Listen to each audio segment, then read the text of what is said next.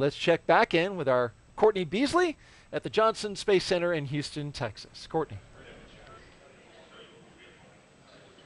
Thanks, Daryl. As we said earlier, the team here in Mission Control Houston is actively monitoring the International Space Station as they await Dragon's arrival.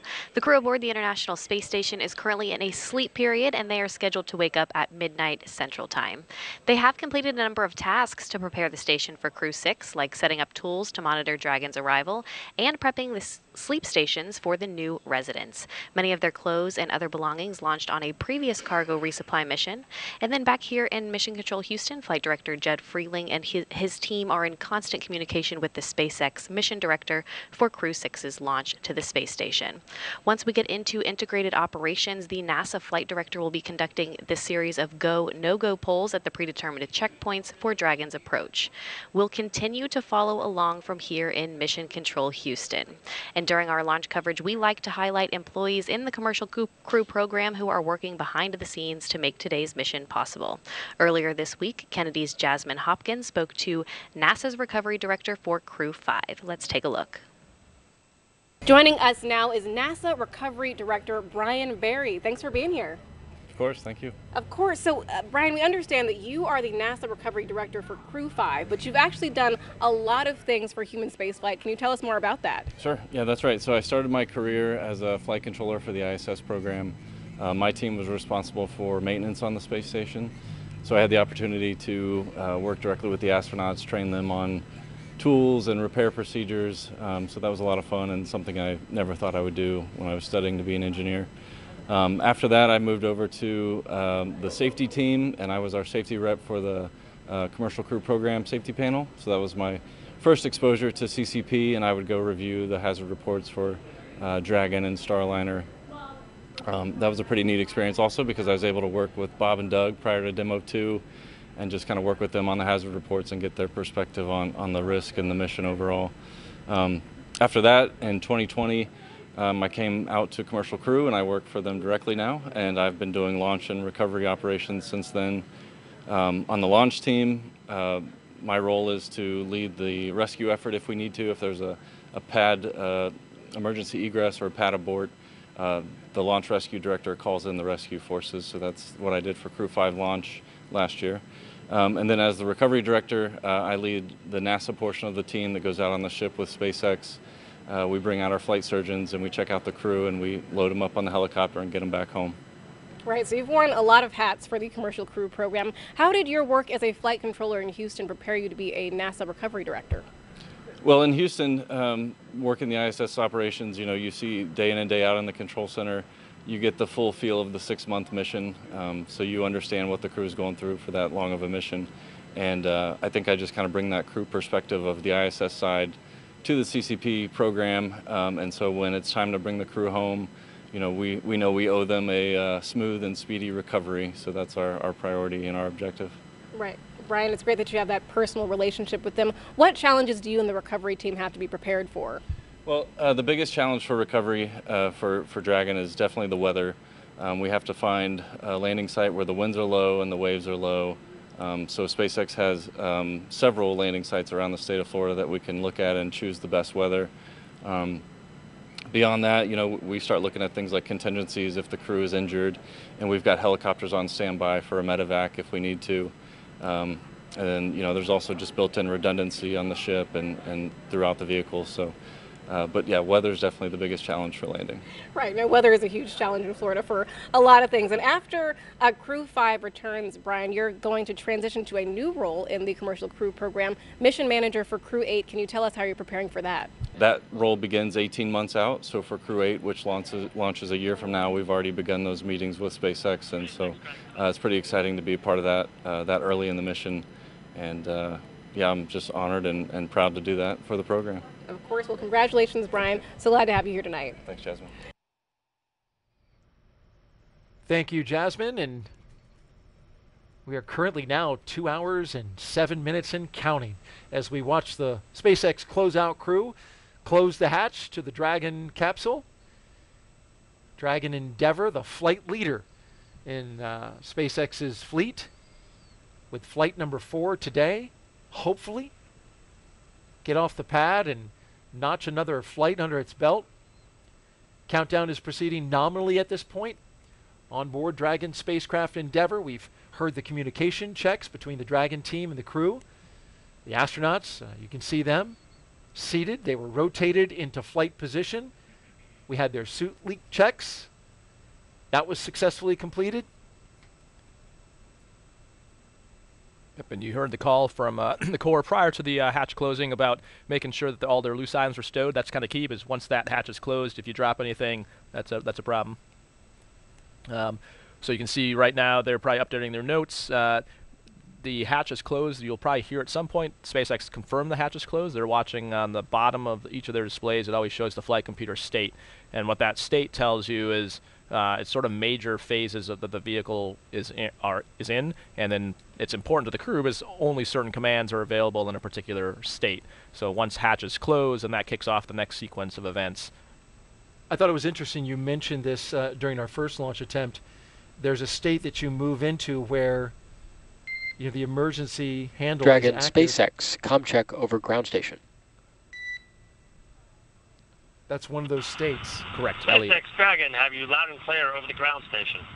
but it's not active in all the states leading up. So certainly a very definitive point in time. Exactly. Core has you loud and clear. Ground station ComCheck is complete. Stand by for TDRS ComCheck. Now we're rolling through the com checks. These are with the different. Uh, v- different paths. So we had Yeah. checked via the hardline communication. Now the hatch is closed, so it's a. The first one you heard was the ground. out through TDRS, which is the S-band communication system. So basically through satellites, and that's important because once it gets off the pad, uh, line of sight will work for a certain amount of time, but eventually you're gonna have to rely on satellite communication. So they're checking that out before they get to orbit. afterwards, the SpaceX closeout team will be performing the final leak check on the hatch. And then once that is finished, you can see it there, it's closed.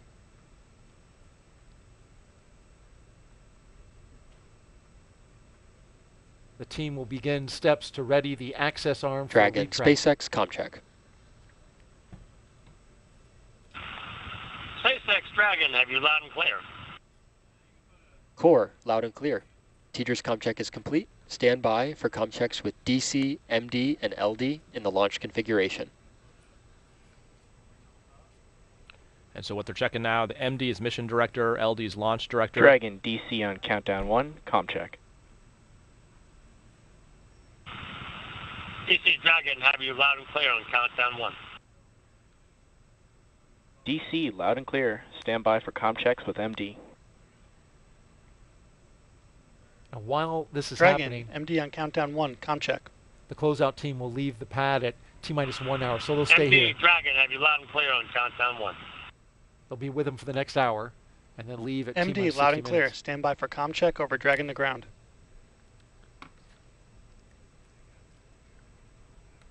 Dragon, MD on Dragon to ground, com check. MD Dragon have you loud and clear over Dragon to ground. MD loud and clear. Stand by for com checks with LD. Dragon, LD on countdown one, com check. LD Dragon have you loud and clear on countdown one. LD, loud and clear. Stand by for com check over Dragon to ground. Dragon, LD on Dragon to ground, com check.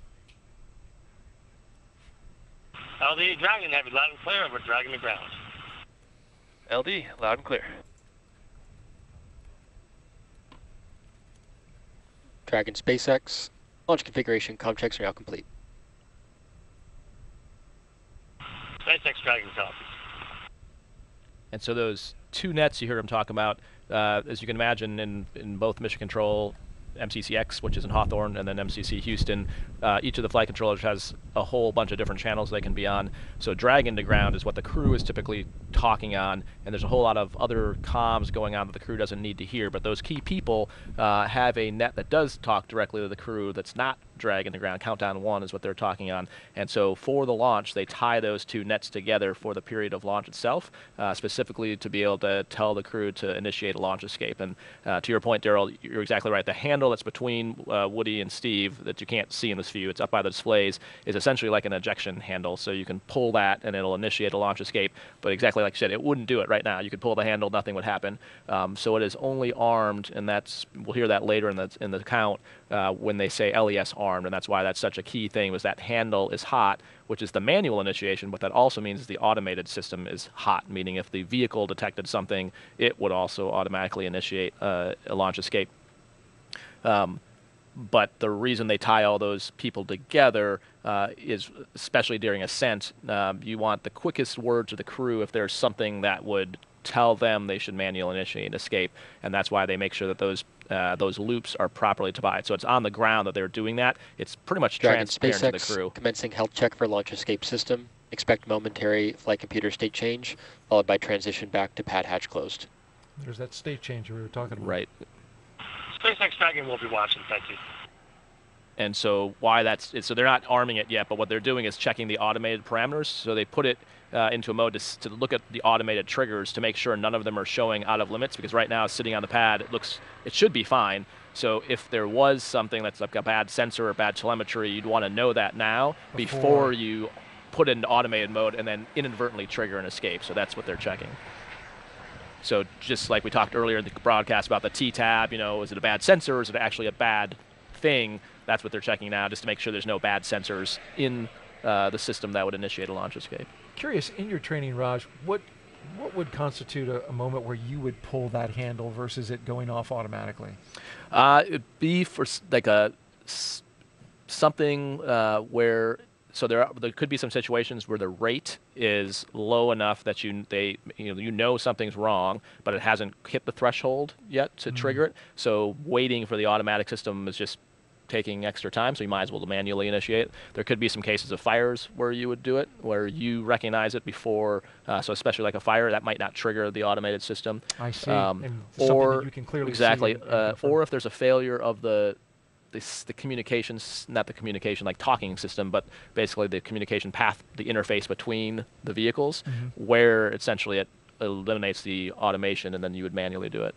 So there's there's a few cases you would be very hesitant to do it. You'd want to be very confident, right? Because it's Right. a Oh, it is a uh, emotionally significant event, uh, both from a you know the it is um, physically and physically yes yeah it is uh, a lot of g's very fast um, and uh, yeah so it, it's going to rock and roll you quite a bit. Um, so you don't want to do it uh, if you're not positive but uh, you definitely want to use it. It's a great feature to have um, and definitely one of the, the lessons we've learned as we've evolved um, our, our space and launch vehicle technologies. You mentioned speed, 436 miles per hour. That system can get up and go, take you two and a half miles off the coast of uh, you know Florida here into the Atlantic Ocean, and uh, it could be a lifesaver uh, if the situation were to arrive. So this is certainly not child's play we're talking about here. This is uh, this is big time stuff uh, when it comes to space flight. But you know every Dragon astronaut crew, even though it's not child's play, does bring a stuffed toy with them. this is true yeah Making a tough transition here. that's well, Uh, well done You the purpose of that stuffed toy, though, it, it, it has a purpose. When the toy starts floating, the strapped in crew has confirmation that they've reached microgravity, and the name of it is a zero G indicator. There's been seven on Dragon so far, and let's take a look at them all. Who can forget this one? Little guy, plush Earth, floating around by himself on the first uncrewed flight test in 2017 called Demo 1, which four years ago today, Raja, Oh, wow. it was launched. That was followed up by a, se- a sequin bedazzled dinosaur named Tremor, picked out by Bob Behnken's son Theo and crewmate Doug Hurley's son Jack. We just talked about Dragon that. SpaceX, good side hatch leak check. Crew 1 took a toy Baby Yoda with them to the first four person crew. SpaceX Dragon copies. And then, since then, it's been all stuffed animals. A penguin for crew two, a turtle, your turtle, for crew three. And then for uh, crew four, it was a turtle and a chimp. Double turtle Double turtle. And then for the last mission, the first humanoid, the little Albert Einstein little thinker plush doll. And so we didn't get to find out in our first attempt what Crew 6 is doing. Well, I'll be honest. I know, but um, we're saving it until they get up into space, and we should see it. We- you know, once they get up exactly. there. Yeah, and the history of it is uh, you notice in some of those pictures the crew was already out of their seats, but in reality, the when you first see it deploy, they're still strapped in, and so even though you in your stomach have that feeling of being in a roller coaster and you're falling, you aren't actually moving. You're still fully strapped in. So the way you can check your senses is your zero G indicator starts to starts to float. Um, and so our case, our turtle was named Fowl, which was a nod to Matthias, since that's uh, German. Uh, it was also specifically a peacock turtle because Tom Marshburn is a class uh, in the peacock. So it was a, a, a conglomerate of effort to have a, a zero G indicator that represented the whole crew. You heard Arthur call the side hatch leak checks are good, which is a great sign. Um, and uh, this, it's going to take a while now for the closeout crew to actually clean out the white room. Um, there's a whole bunch of work they're doing um, as they start to, to do that, but it looks like everything's on track. Yeah, we've had the com checks, the seat rotation, suit leak checks, they're complete. And uh, so now we're just tightening up that hatch. And while we look at this shot, we can look to the right. We see the NASA meatball with all the signatures around them, along with the SpaceX logo. Every human who goes into space gets to put their signature on the wall there. And Raja, of course, yours is there along with your Crew 3 crewmates. But, you know, Dragon for the second attempt, status update. they didn't have to do it. so that helps save some Bottle time of there as time. well. SpaceX Dragon, go ahead. All right, uh, we are going to repeat the ground station com check uh, just to do it one more time on our end and make sure that we're properly configured. Uh, following the ground station com check, I'll step into the post-ingress crew briefing, and uh, after that, we'll step into Falcon 9 operator com checks. SpaceX Dragon copies. Understood it all. Thank you. Going to run the uh, com checks again. Yep. So probably maybe they had to reconfigure something, uh, or maybe someone wasn't on the or didn't hear it maybe. So they want to just make sure everyone's tied in. And then you heard the Falcon 9 operator checks after that, which we haven't done. And that will be when you hear the different subsystems for each of the Falcon 9, ma- the main parts that they're monitoring that could lead to a launch escape. They'll all chime in. And again, so for the same reason I described before, making sure. Uh, normally, those people wouldn't talk directly to the crew, Oh. um, but if you had, you know, you know, uh, one of those systems that give that that was your question like hey when would you do it like well that, that would be a time like if the GNC which is guidance navigation control sees something off um, that they think is dangerous they can have the ability to call the crew directly and, and tell them to initiate a launch escape Okay. Great and again insight. It'd, be, it'd be like a trend they're seeing you know maybe it hasn't hit the automated limit um, but they know it's going to and so if it buys you a second or two then it's worth worth getting Might be call. faster than the automated system. right And that's why they're consolidating the communications to the crew, as Raja has mentioned. We have uh, an hour and 53 minutes until liftoff at 12:34 a.m. Eastern Time here from the Kennedy Space Center in Florida, America's spaceport. Now, as the pad team wraps up its final checks and clears the white room, that's when the action will start to pick up. We're looking forward a little bit. Crew access arm will retract. We'd have the arming of the launch escape system, and then, of course, prop load. So we will keep this live view of the crew here as they're sitting tight for the next hour or so. Raja Chari doing a great job of keeping us uh, informed about what's happening as we watch it. And if you want to ask him a question, we're taking them. Just head on over to social media. Oh, great question actually on there. So, so actually the ones that not, one's not a question was a shout out from uh, Steve Bowen's uh, fellow submariners, submariners. um, looks like we've got one here that uh, from at Danny Scara. Okay. Uh, what happens after you're strapped in and waiting to launch and you have to use the bathroom? So we get really good at using diapers. They're called mags. Uh, what are they called? MAGS, which is the acronym for Maximum Absorbency Garment, but it's basically a diaper. Uh, it's just that way you don't have to say the word diaper, but it's diaper. Um, Giving us some great insight yeah. there. Well, actually, if How you want, if the people at home don't try this if you're watching the Causeway because there's fire ants. But if you're at home and you want to know what it's like, just get on your back, put your feet up on your couch, and lay on your back and watch this broadcast and do it for the next two hours. And even if you haven't drank a lot of water sitting like that. It's hard to it- do. It's no, it- it's hard to do, and it makes you have to go to the bathroom. Um, Oh. so you definitely uh, that's one of the reasons that crew we call it crew time on back is a big deal in trying to minimize that uh, because you can get cramps. This is uh, definitely more roomy than a like a Soyuz um, where your knees are in your chest, but yeah, it is uh, it is less than comfortable. Um, and so you have to overcome the mental block of peeing your own pants um, because it's actually harder than you would think. But we get uh, we get practice doing that in NBL runs. So because you're in the pool for you get like practice.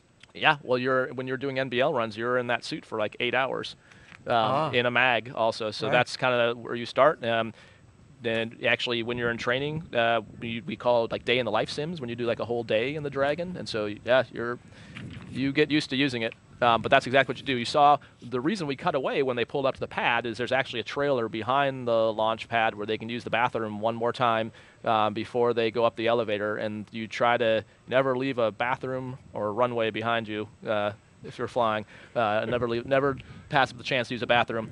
But yeah, so it's a fine balance because you want to be hydrated, especially when you get to space, because you tend to get dehydrated. So you want a fluid load. Um, but the downside is that, uh, especially when you're on your back with your knees in your chest, um, it tends to give you the sensation that you have to go to the bathroom.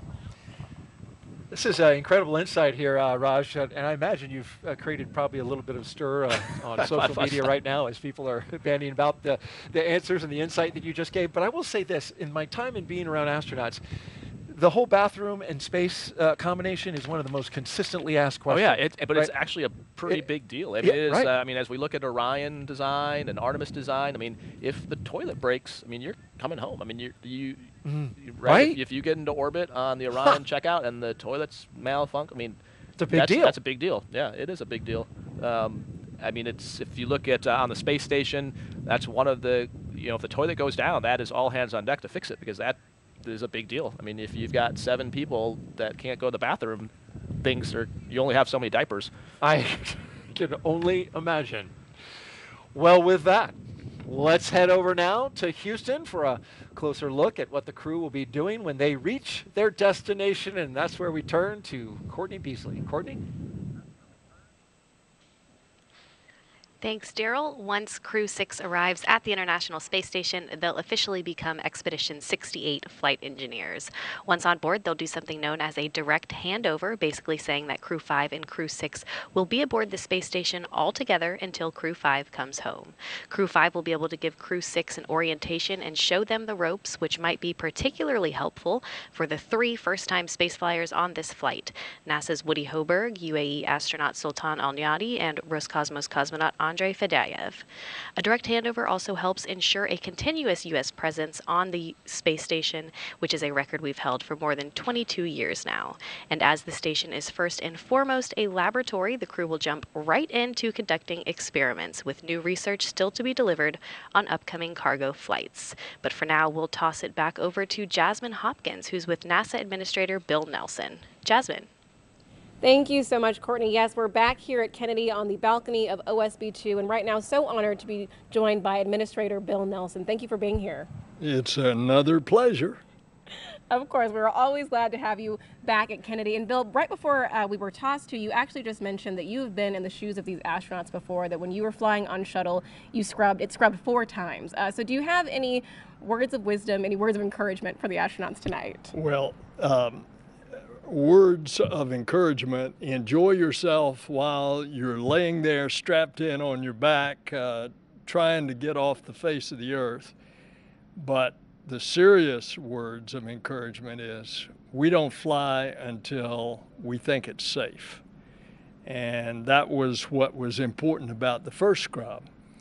Uh, because it just didn't feel right. And NASA made the call.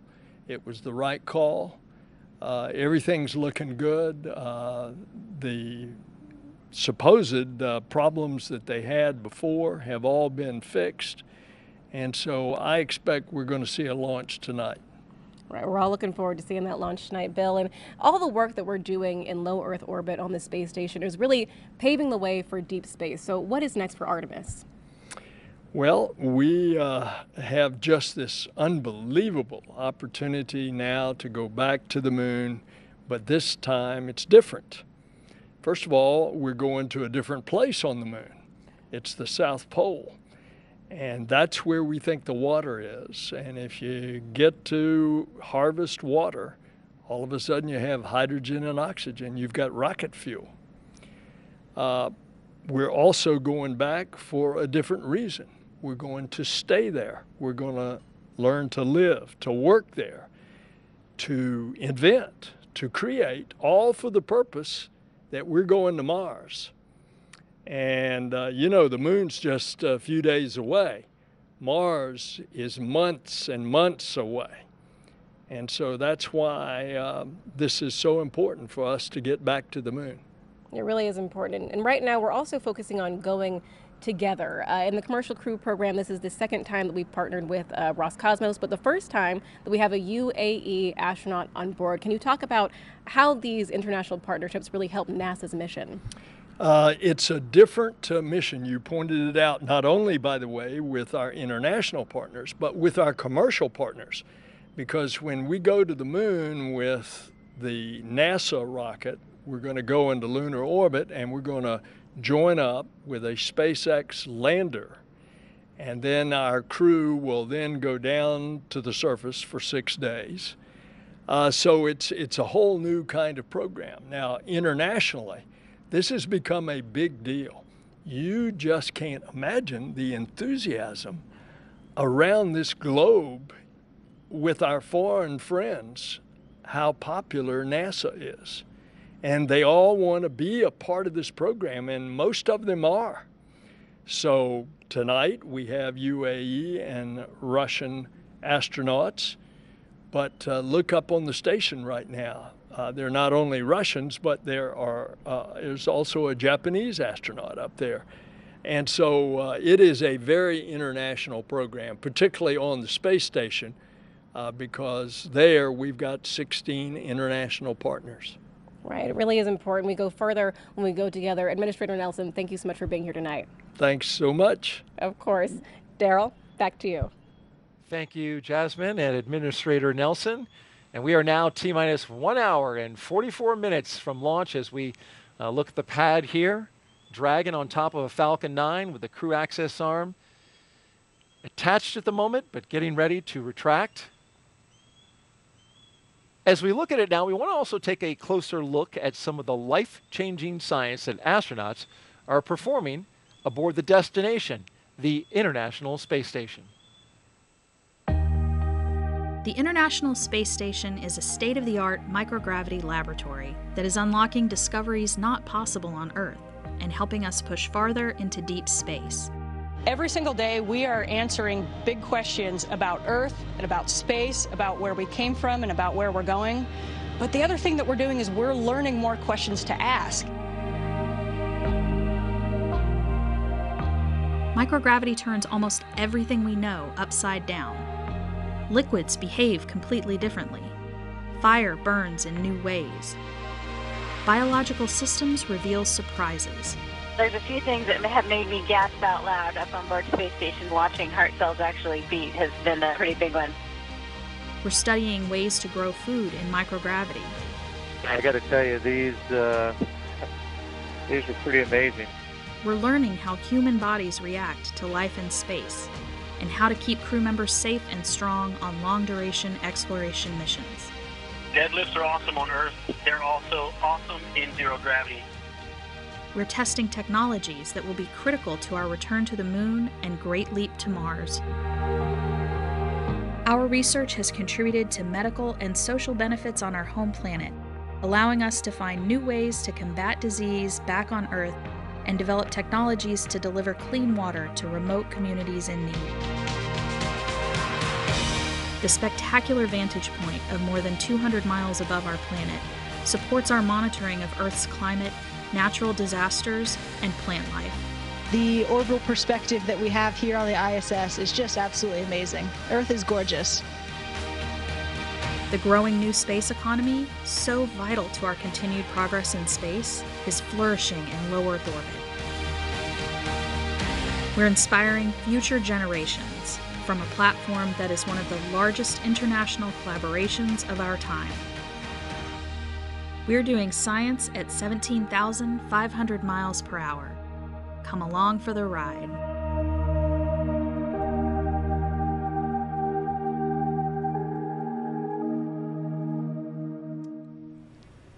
Love the shot of the cells there, the heart cells beating inside uh, microgravity. It's uh, really impressive. And inside this Dragon, three astronauts and one cosmonaut going up to the International Space Station to continue that important work of science on our orbiting laboratory.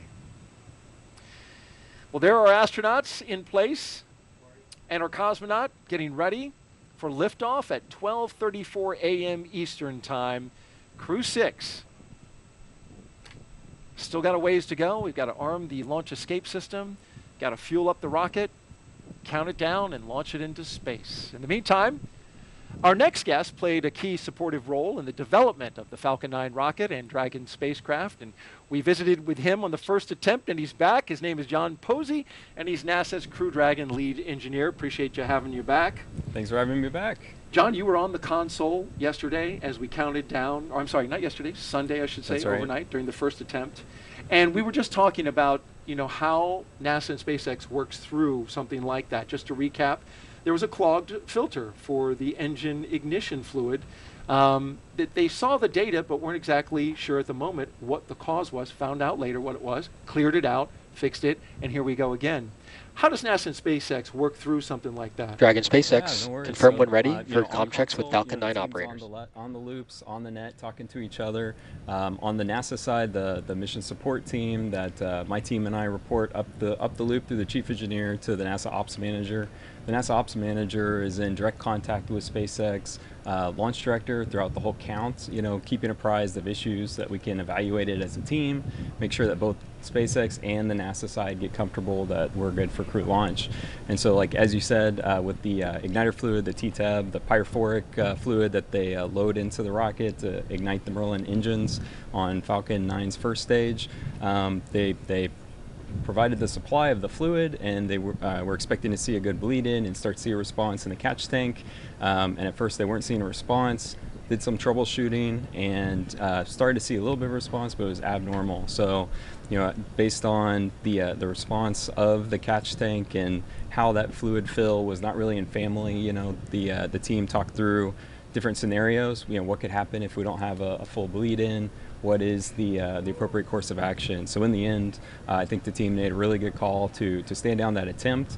Uh, and then, of course, since then they've they've gone into the system. Uh, did find, you know, like you said, a clogged filter, a little bit more oxidation than typical, um, and that's kind of expected over the course of that system's use. Um, and SpaceX does proactively go in and change that filter very frequently. Uh, this one got clogged a little sooner than normal, so uh, caught, caught us a little bit by surprise after you know having a, a good performance on static fire. But uh, you know sometimes uh, things like that happen. There's so many systems, so many systems uh, that have to be just right in order for a rocket launch to go off. So it is impressive when they have something like that and work quickly through it. Yeah, it's, it's to turn it around that quickly is is is impressive. And like Kathy and multiple people said, in light of this, it just reminds us space flight is hard.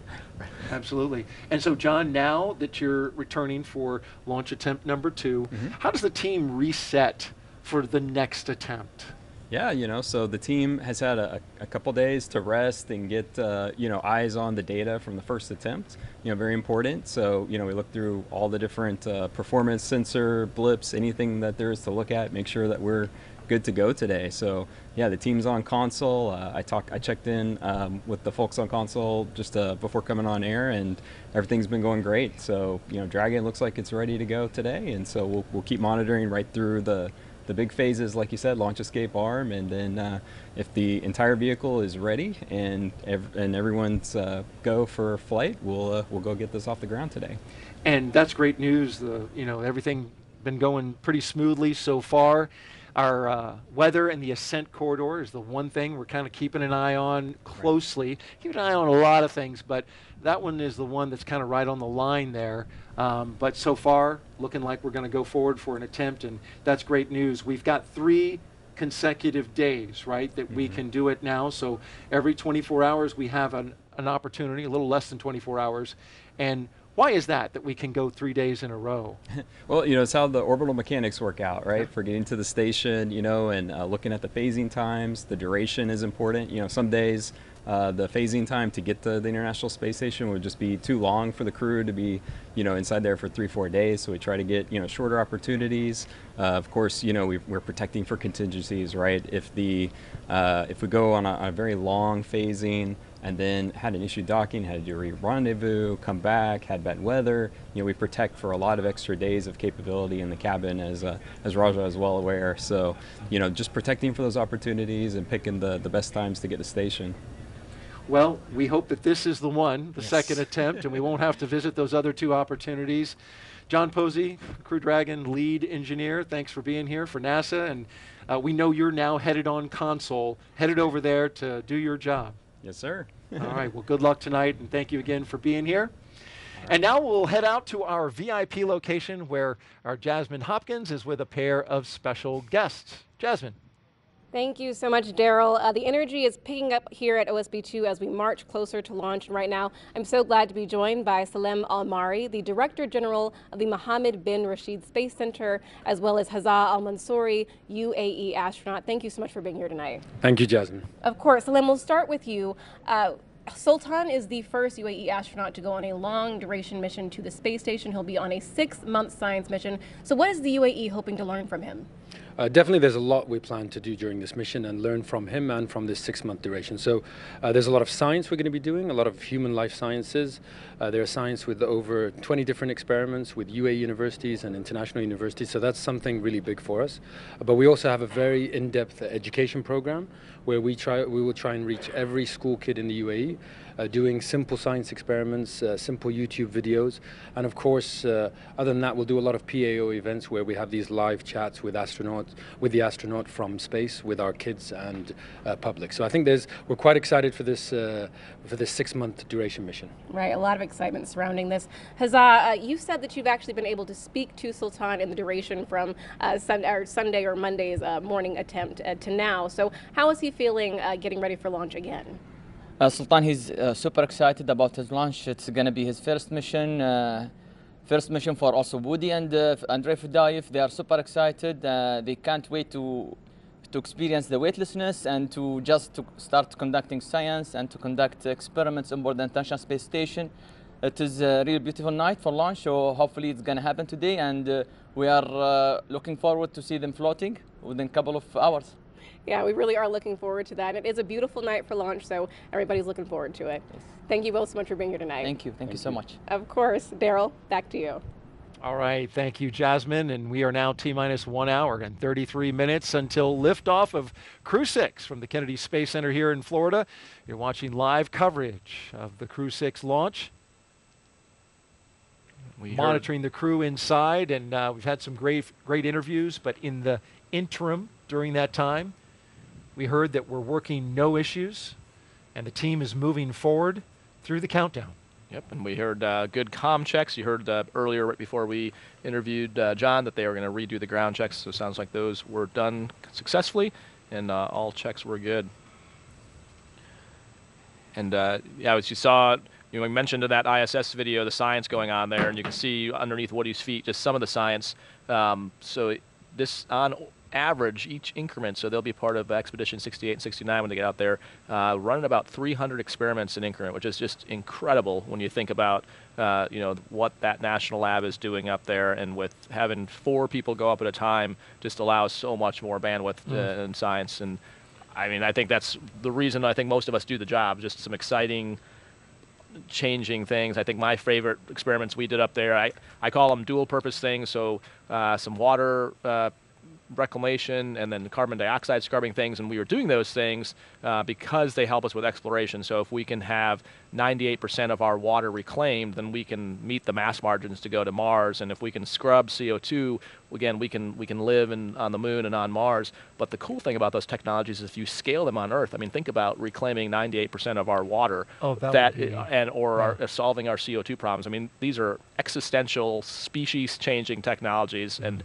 just the, the you know that we're just starting to get into the fundamentals of, and if we can solve some of those problems, I mean, the the impact uh, NASA can have just on on the world, let alone the solar system, is is mind-boggling. So I think that's to me why I love this job and why I think so much of us love doing this and the things you can discover in a micro and gravity environment. Um, even even simple things like uh, we did a concrete hardening experiment when I was up there. I remember which that. I thought at the time was like, how? Why are we I'm sorry for whoever the poor scientist is like, how lame is this? Watching literally watching concrete harden. But Matthias, who's a brilliant materials uh, scientist, explained to me so that the, the reason we were doing it was to be able to use regolith on the surface of the moon to build structures. But the other cool Earth science part is apparently concrete hardening releases CO2 and it's a ridiculous amount of carbon we put in the in the atmosphere on the Earth Huh. just from the process of it hardening. So one of the side benefits is this is figuring out better ways for concrete to harden. And you think about all the developing places in the world, if we just gave them a simpler concrete formulation that didn't emit greenhouse gases, again, just game-changing stuff. So uh, really cool that you know each increment is going to do that, and this national lab is just paying huge dividends. Besides teaching us how to live and work in space and get to the moon and Mars, but also changing our life uh, every day. There have been spin-offs from space ever since you know the space program came into existence and it's amazing to hear just how many continue to come and benefit not just us but humanity. Yeah, and it's uh, I mean that's actually more data than we know what to do with. One of the common problems, or not About problems, but people are like, "What's what's the most important experiment you did?" Like, I, it's hard to say. I mean, every every day we're doing someone's life's work, some universities, you know, years of research, and we get to be the ones that actually finish the execution of it. So it's just an amazing experience up there. And what a privilege to Yeah. be able to do that. We are currently at T minus one hour and 30 minutes until Dragon flies its next four person crew to the International Space Station. The astronauts, as we can see earlier, and now as we look at the spacecraft, there they are. Commander Stephen Bowen, pilot Woody Hoberg, and mission specialist Sultan Al Neyadi and Andrei Fedyaev. In their seats, they're strapped in, ready to go. And along our, launch, our launch timeline at the moment, we're getting ready to have those launch escape system and communication checks conducted by the Falcon launch team. And we'll be listening in for that call out. Yeah, so the closeout crew is presumably still working uh, items there, and we expect around uh, at T hours when they would probably start departing, um, and then that, that gives them time to clear out the uh, what we call the hazard zone uh, before they start working the, the the launch escape systems. Each Crew 6 astronaut is allowed to bring a few personal items with them inside the Dragon capsule there, and they do that so they can have something for their roughly six months in space, you know, something from Earth to remind them of family, friends, loved ones, something they love about planet Earth. And here's a few of the items that uh, Crew 6 is taking up. Sultan Al Neyadi said he's bringing a kimono. he's he's going to be throwing some moves up there, some jujitsu. He's also bringing a small toy rocket from the popular European comic Tintin. Andrei Fedyaev is taking a few photos and some pins he plans on sharing with his family when he gets back home. For NASA astronaut Woody Hoberg, he's bringing one simple item, a photograph with deep personal meaning to him. In terms of personal items, mine's uh, simple. Unfortunately, over the summer, I um, I lost my father, and uh, so I'm just bringing a, a photo of him that means a lot to me. And uh, I wish he could come along with me, but uh, at least I'll I'll well I will be bringing him along with me. So. I'll, to, I'll talk this. Yeah, and this is the photo right here, Raj. Woody says it's a picture of his dad, Jim Hoberg, finishing the Boston Marathon and leaving it all on the course. Jim Hoberg, along with his wife Peggy, raised Woody and his brother in Pittsburgh, PA. He was an electrical engineering professor at Carnegie Mellon University, where he was known for his exceptional teaching. When he was 75 years of age, uh, he passed away at 75, I should say. Woody says he will remember his father for always showing up and for his relentless pursuit of truth. When he gets to space, he's going to keep that photo in his crew quarters, a touching tribute to his father all the way up there in space. Yeah, and I think what a, a tribute, and like we were talking about before, none of us got here on our own. Someone got us here, uh, and you know, Woody's dad made Woody who he is. All of our parents made us who we are. The instructors at JSC, the centers we visit, uh, we are really just a, a reflection of them. So uh, I'm glad Woody's able to take his his father with him. I think most astronauts take things to remind them of their family, their loved ones, up with them because you are uh, separated from the from the Earth. But uh, it's it's right there, but you you can't go home at the end of the night. So having that to remind you is very important. Now here's what we talk about what you brought up, and we did this last time, but I, changed, I had to change my show and tell. Yeah. I, I love that you did that, by the way. What do you have? So uh, I, I, last time I had my academy shirt. I also had the high school shirt. So Uh, from you my- brought two I, shirts. I had two shirts. Yeah. Okay, what- So what do we have Columbus here? Sailors. So from from Okay. Waterloo, Iowa. Yeah. So I grew up Waterloo, in Iowa. as. Iowa, that's right. My high school shirt. One thing. So we sh- we showed these last time. Yeah. The, um, showed my space retainer, Retainer. which my, I was Remember also not supposed to bring back. How can I forget? Um, so I did. I showed last time we had uh, the RMO for our mission. The other th- one I brought up. So my wife works for the Department of Veterans Affairs, and that's obviously near and dear to my heart, the Oh, agency itself. So I brought up uh, an RMO or a s- coin. I'll say it out loud, but uh, from from the Department of Veterans Affairs.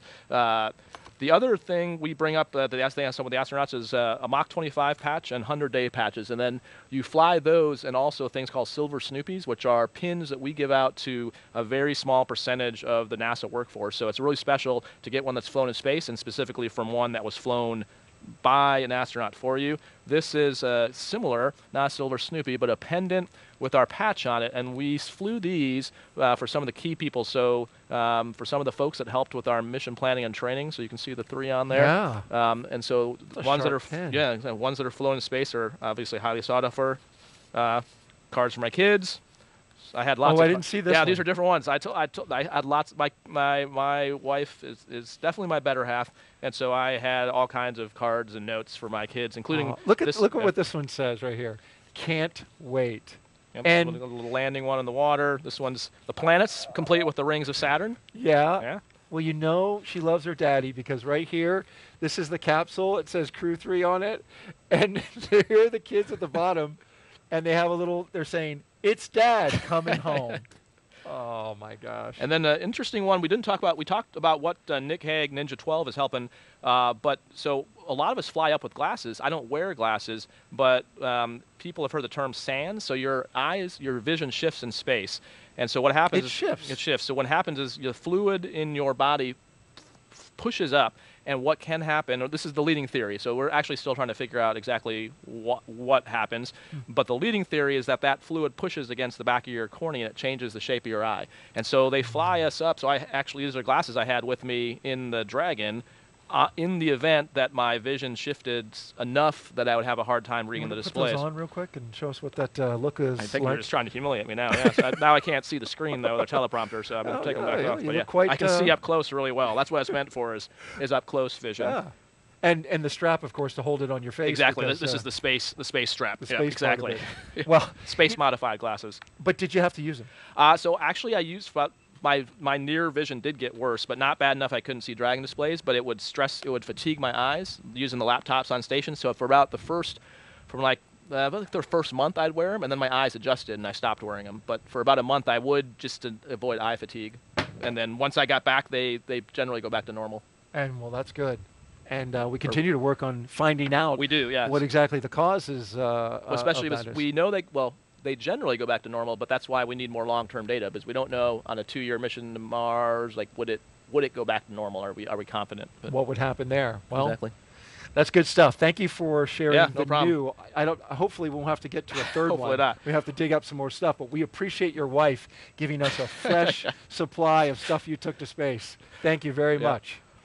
Well, when they aren't launching into space or working hard to prepare to go into space, the NASA Astronaut Corps, well, they try to find time to watch their friends go into space. And uh, you would know that. Yeah, so even so, I'm here, but uh, you know, we saw Nick uh, as Ninja 12. We saw Ike Glover helping with the family sport. We saw Joe Acaba, the chief. Sharon. Uh, This is when they Wa- were getting ready to right, go exactly. out, So the office is spread out doing all kinds of things. You have, uh, you know, last time Reed was up with the administrator. Reed um, Wiseman? Yeah. Exactly. So we are all over the place. But even if you're not, you're probably online or at home watching. And so I was going to try to dial in. So Woody, as we talked about, uh, is sitting in a seat that's been used before. So I was going to try to get. You're not Ma- calling Woody, are you? I'm not. Well, I don't think I could try call. I don't know the answer. I'm She's gonna, a- I'm she's gonna- on the line. Awesome. I'm trying. All right. Yeah. Okay. So we got Megan McArthur on the line, who flew on Crew Two that I got to train with. And so, Megan, can you can you hear me? Okay. Hey, Roz, I got you loud and clear. Hey, awesome to talk to you. Thanks for calling. so Megan's at home in Houston watching the launch, um, and we're yeah. You might have better ideas about what they're doing. Uh, I think you guys came up with a game to kill some time while you're waiting for the closeout crew to leave.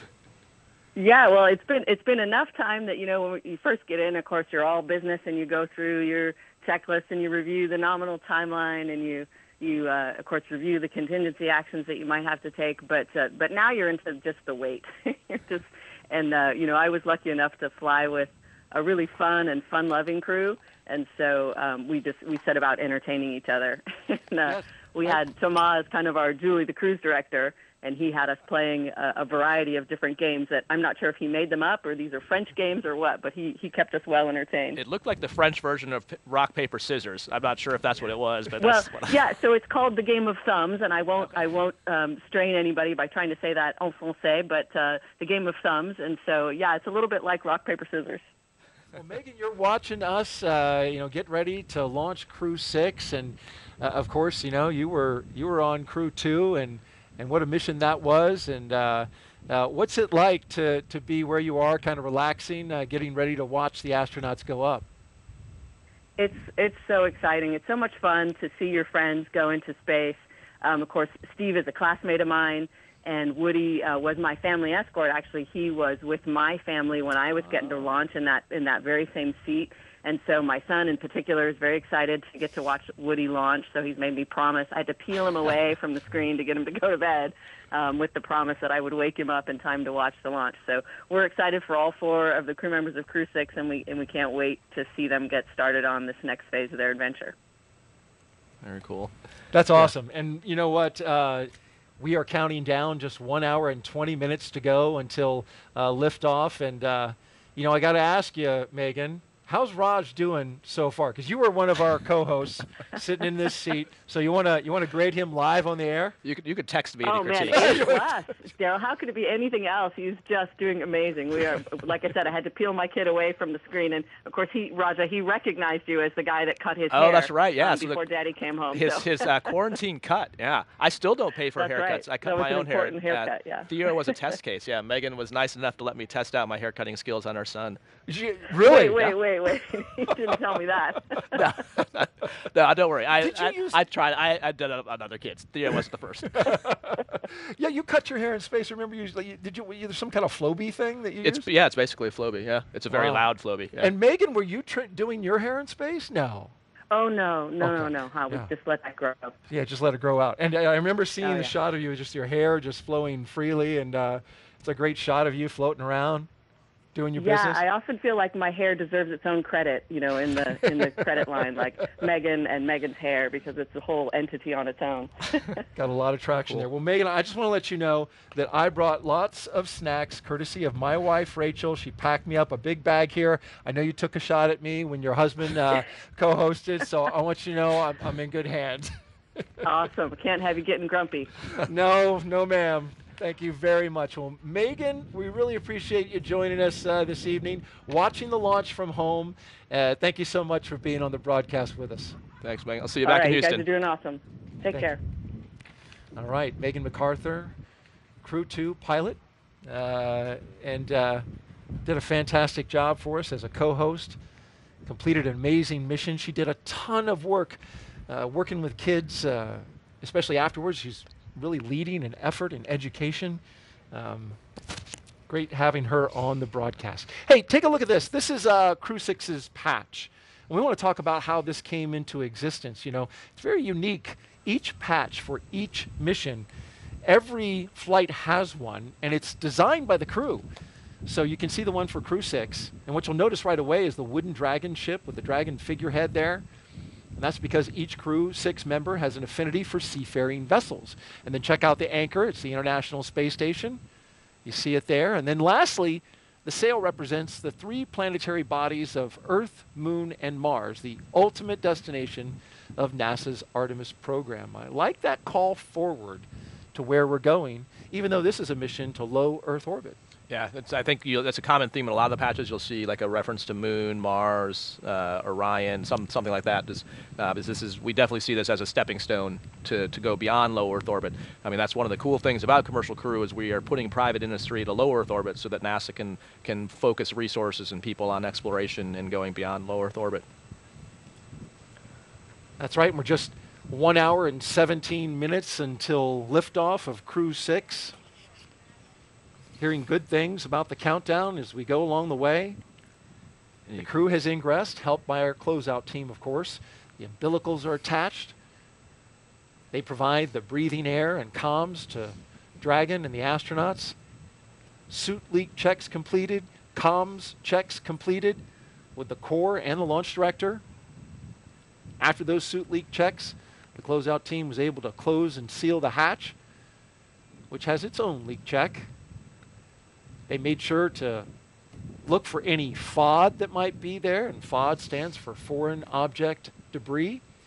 As we look in from the White Room, the closeout team will wait another 15 minutes before they'll clear out of that area.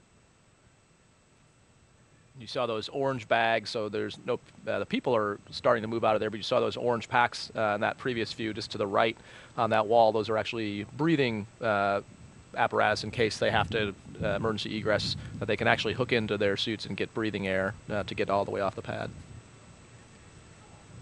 So we understand that the closeout team has actually departed the pad, and now they're doing some final weather checks.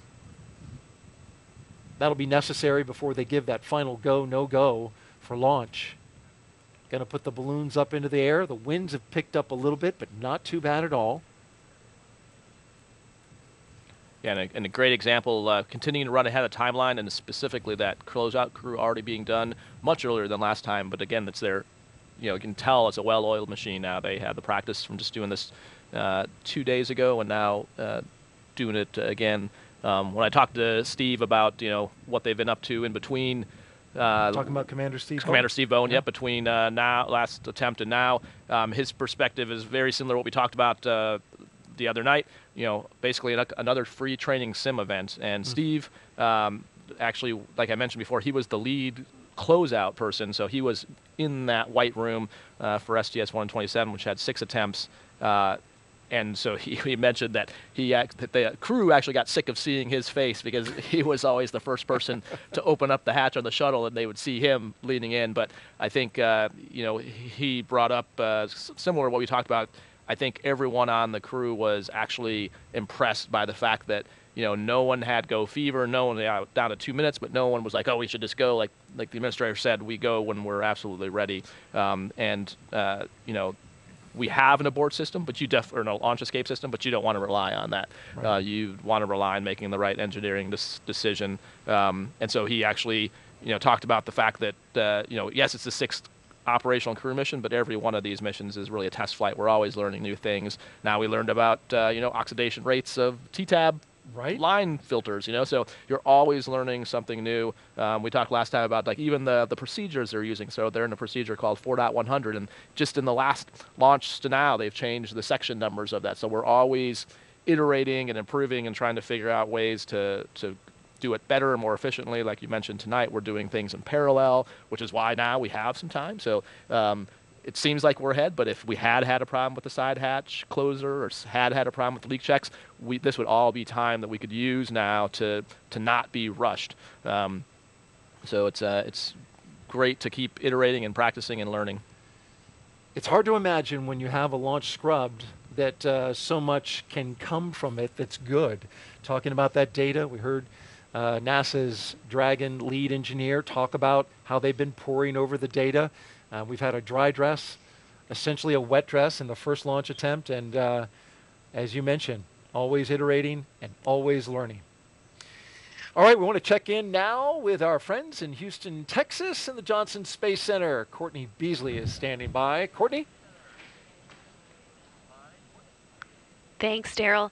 The team here in Mission Control Houston has pulled that they are go for launch. The International Space Station is ready for Crew 6 astronauts to lift off. When Flight Director Jed Freeling pulled his team, he was asking the flight controllers who work on all of the key systems on board the station if their focus areas were online and working properly. This includes life support systems, proper communications links, computers that allow us to command the station's onboard subsystems, and our ability to, to control and maneuver the space station are all fully functional. The crew in orbit is currently in a sleep period and they are scheduled to wake up at midnight Central Time. The International Space Station Flight Control team is ready for launch. Mission Control Houston will continue monitoring the mission as we check off milestones for today's flight. In the meantime, I'll send it back out to the team at Kennedy. Derrol. All right, a beautiful shot from uh, high above the Kennedy Space Center, going by the VAB as we look out at Launch Complex 39A during the previous launch attempt. I want to recall this. Raja told us that dragonflies during dry dress is a good luck charm. Well, after the scrub, I was watching you know, the Starlink launch. What do you see there? Looks like some looks like insects flying by, maybe dragonflies. Yeah, I can't tell if they're uh, insects on the screen or there you go. there, yeah, there's a buzz. Right, they were they were buzzing my phone. I thought it'd be a good idea to put some dragonflies in For the some show. good Roger. luck. I like it. Yeah. Is that going to bring us some good luck? I sure hope so. Well, let's hope so indeed. One hour and 11 minutes, uh, counting until liftoff. Let's check back in with Jasmine Hopkins, who has a special guest. Thank you so much, Derrol. Joining us now is Kennedy Space Center Director Janet Petro. Thanks so much for being here, Janet. Thank you, Jasmine, for having me. We're always happy to have you. And you know, right now we're, we're preparing for Take Two, second launch attempt of Crew 6, but this is something that the Kennedy workforce is built for, really. I mean, we're very agile. Can you speak to that? Yeah, sure. So, uh, you know, last year, 60th anniversary, we went through this with Artemis, not just uh, uh, two times, but we did it three times successfully, launching the third time on November um, 16th. So, launch is hard, the whole process, and we got to get it right. Um, you know, they say, you know, you'd rather fix a problem on the ground than um, launch and then have a problem in the air. So the team, um, you know, the NASA team along with the SpaceX team has worked really hard. We had our uh, Delta launch readiness review um, late yesterday evening, worked through the issues that we experienced on the first one, and we're ready to go tonight, Jasmine. That is what we want to hear. It's good to hear that we are looking good for launch tonight, Jan. And you just mentioned that 60th anniversary was our diamond anniversary last year. Uh, to think that we've been here six decades, what is Kennedy doing uh, to continue growing and improving? So the first 60 years, you know, it started, Kennedy was with Apollo, and then diamond anniversary last year, Artemis, first launch of Artemis, going back to the moon. But, you know, as a spaceport, we really have come into our own. We've really um, brought a lot of the commercial industry here to launch. Um, 97, uh, 94 launches on the manifest this year.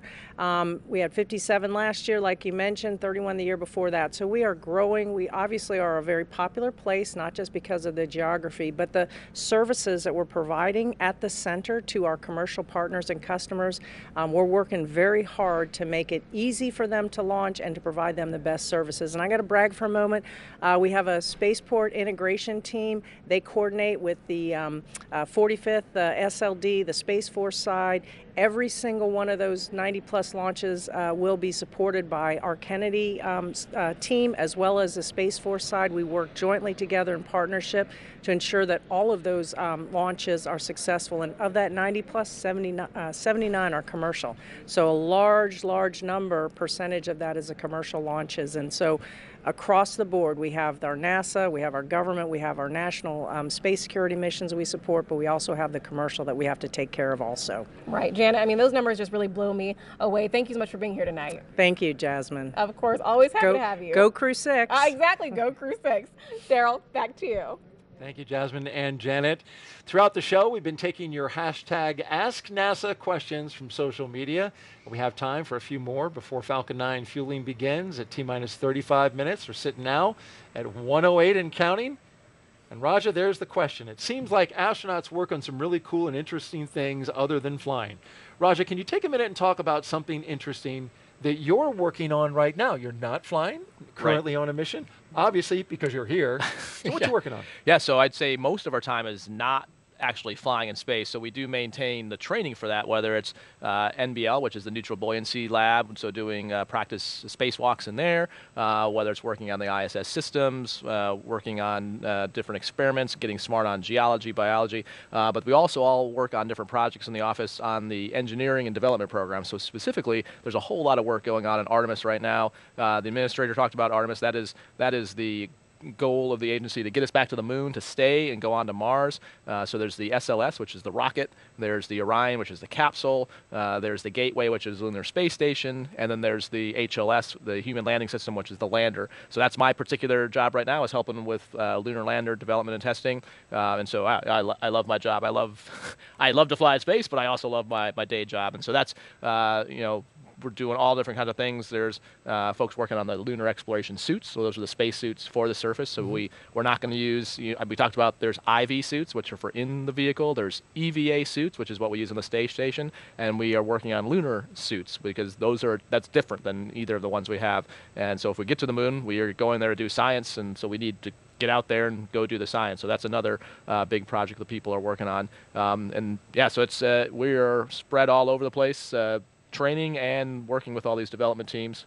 Yeah, and it, and it seems like there's a similarity there to when you know Bob and Doug were working in the commercial crew program early on, developing these vehicles.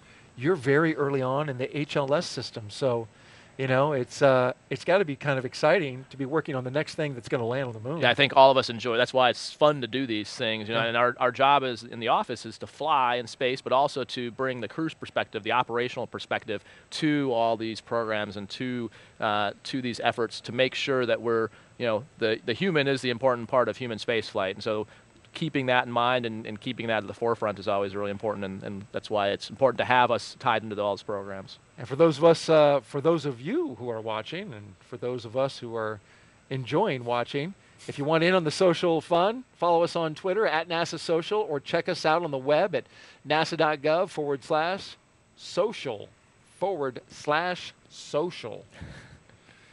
hey, this is a really quick question, a really easy one. At Slow asks Raja, what inspires you? What inspires me? I think uh, the idea of exploring is what in- inspires me, the idea of new discoveries. And I think I kind of alluded to why I'm so excited about science before solving problems here on Earth. So I'd, I would love to see humanity go and explore, like live on the moon, go to the next planet. But I also am inspired by the fact that we're, we are finding solutions for problems here on Earth right now. So that's, uh, that's what inspires me to, to work here. And it must be rewarding as well. It's amazing. Yeah. I, so I think what inspires me is inspiring others too. So I think one of the co- coolest parts of our jobs, uh, it takes time and effort because it's you're traveling, but going to talk to like school kids, I, that's hands down one of my the most my most favorite things. Um, really to go do and just yeah, I mean seeing their excitement. Um, just the when an astronaut walks in the door, it's just so fun, you know, and yeah. um, you know, whether it's elementary answering bathroom questions, you know, because I've heard plenty, uh, all, all, the way, all, the way, to you know talking to university students uh, where, who have questions like you know how do like where do I go and like what kind of degrees and you know so it's it is uh, it is really cool um, and it inspires me to be uh, even a potential inspiration or to potentially help or uh, set a spark maybe uh, uh, in someone's mind or give them the idea of what's possible deep curiosity as well. We are one hour and four minutes and counting until liftoff. This day is the continuation of regular flights to the space station from U.S. soil. Crew 6 and the mission will be the company's sixth crewed spaceflight. This is for, of course, SpaceX and NASA, following the crewed test flight Demo 2 and four previous operational crewed missions to the space station.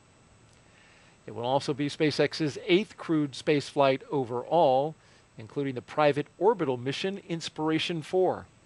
Today, our crew is uh, flying on board Dragon Endeavour, and this will be the fourth flight for this capsule. It'll be taking a ride on a brand new Falcon 9 rocket. The Dragon is the flight, this particular Dragon, Endeavour, is the flight leader in the fleet.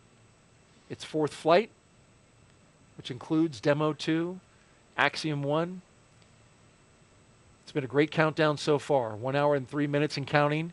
Weather is fantastic here at the Kennedy Space Center. Only a 5% chance of violation. That means 95% go. doing some math here, getting inspired by my fellow astronaut here. Really advanced stuff. Avoid math in public. That's my rule. That's a good idea. Excitement is picking up, though, as we get uh, closer to T0. And so, with roughly about an hour, sorry. No, no, go ahead. About an hour to go until liftoff, things are going to start picking up. We get close to the go, no go pole to arm the launch escape system and begin the propellant loading. The crew pole for readiness, that will happen right at T minus 60 minutes. And then the Dragon pole for prop load is at T minus 55 minutes. From there, at T minus 45 minutes, there will be an internal mission control Hawthorne pole, and then the launch director's pole for propellant loading will follow. When we get to about T minus 40 minutes, the crew access arm will retract, and the crew will get the call to close their visors and to arm the launch escape system. I'm going to walk you all the way through it. This is the automated safety system that's in place that can fire the eight Super Draco thrusters on Dragon to quickly separate the crew from the rocket, either on the pad or during a flight on the ride uphill. And then, once we reach about T minus 35 minutes, propellant loading for the Falcon 9 will begin.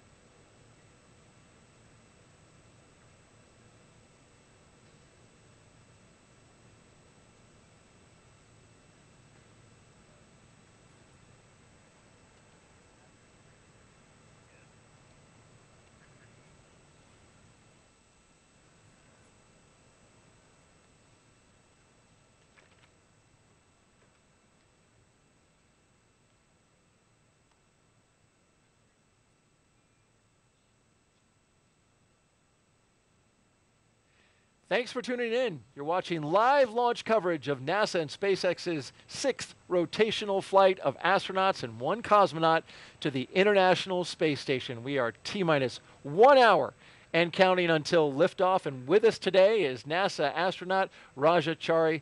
Raja, thanks for coming back. Yeah, glad to be back. Hoping to see my first launch. Indeed. And if you didn't know, Raja is getting ready to witness his first launch. He rode on a rocket as we turn the corner from the vehicle assembly building to show off the launch pad just beyond it. Oh, this is a great shot. The big reveal. Look at that. It certainly oh, is. cool. There it is, the Launch Complex 39A, holding for a 12:34 a.m. Eastern Time liftoff. And so right now the crew is uh, going through kind of mentally, uh, you know, probably looking forward to the prop Dragon timeline. SpaceX and you cycling about orbit start the- tank isolation valves to equalize low flow pressure. SpaceX Dragon copies for Washington. Quickly explain what that is. So give them that call. So uh, a lot of times, whenever they're going to do something with any prop loading or valves, they'll give the crew a heads up. So if they hear the sound or feel the vibration, that they know that that's planned. So they usually give them a call prior. Uh, you mentioned that it's about to get a lot busier on the loops as they start going through some go no go polls and uh, talking to the crew. And so they are looking ahead in what's called the event details, and they have probably two displays up. One that's event details, one that's in procedure 4.100. They're sitting in 4.100 waiting for the poll to say that they can arm the LES, the launch escape system.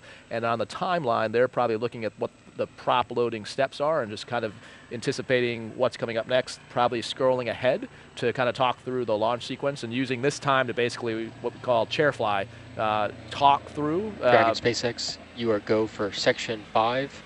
When ready, report go for launch. All right, picking up section five, preparation for LES meeting.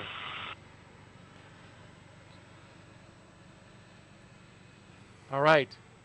Great insight into what's happening in Crew Dragon right now, but we want to recap the last three hours.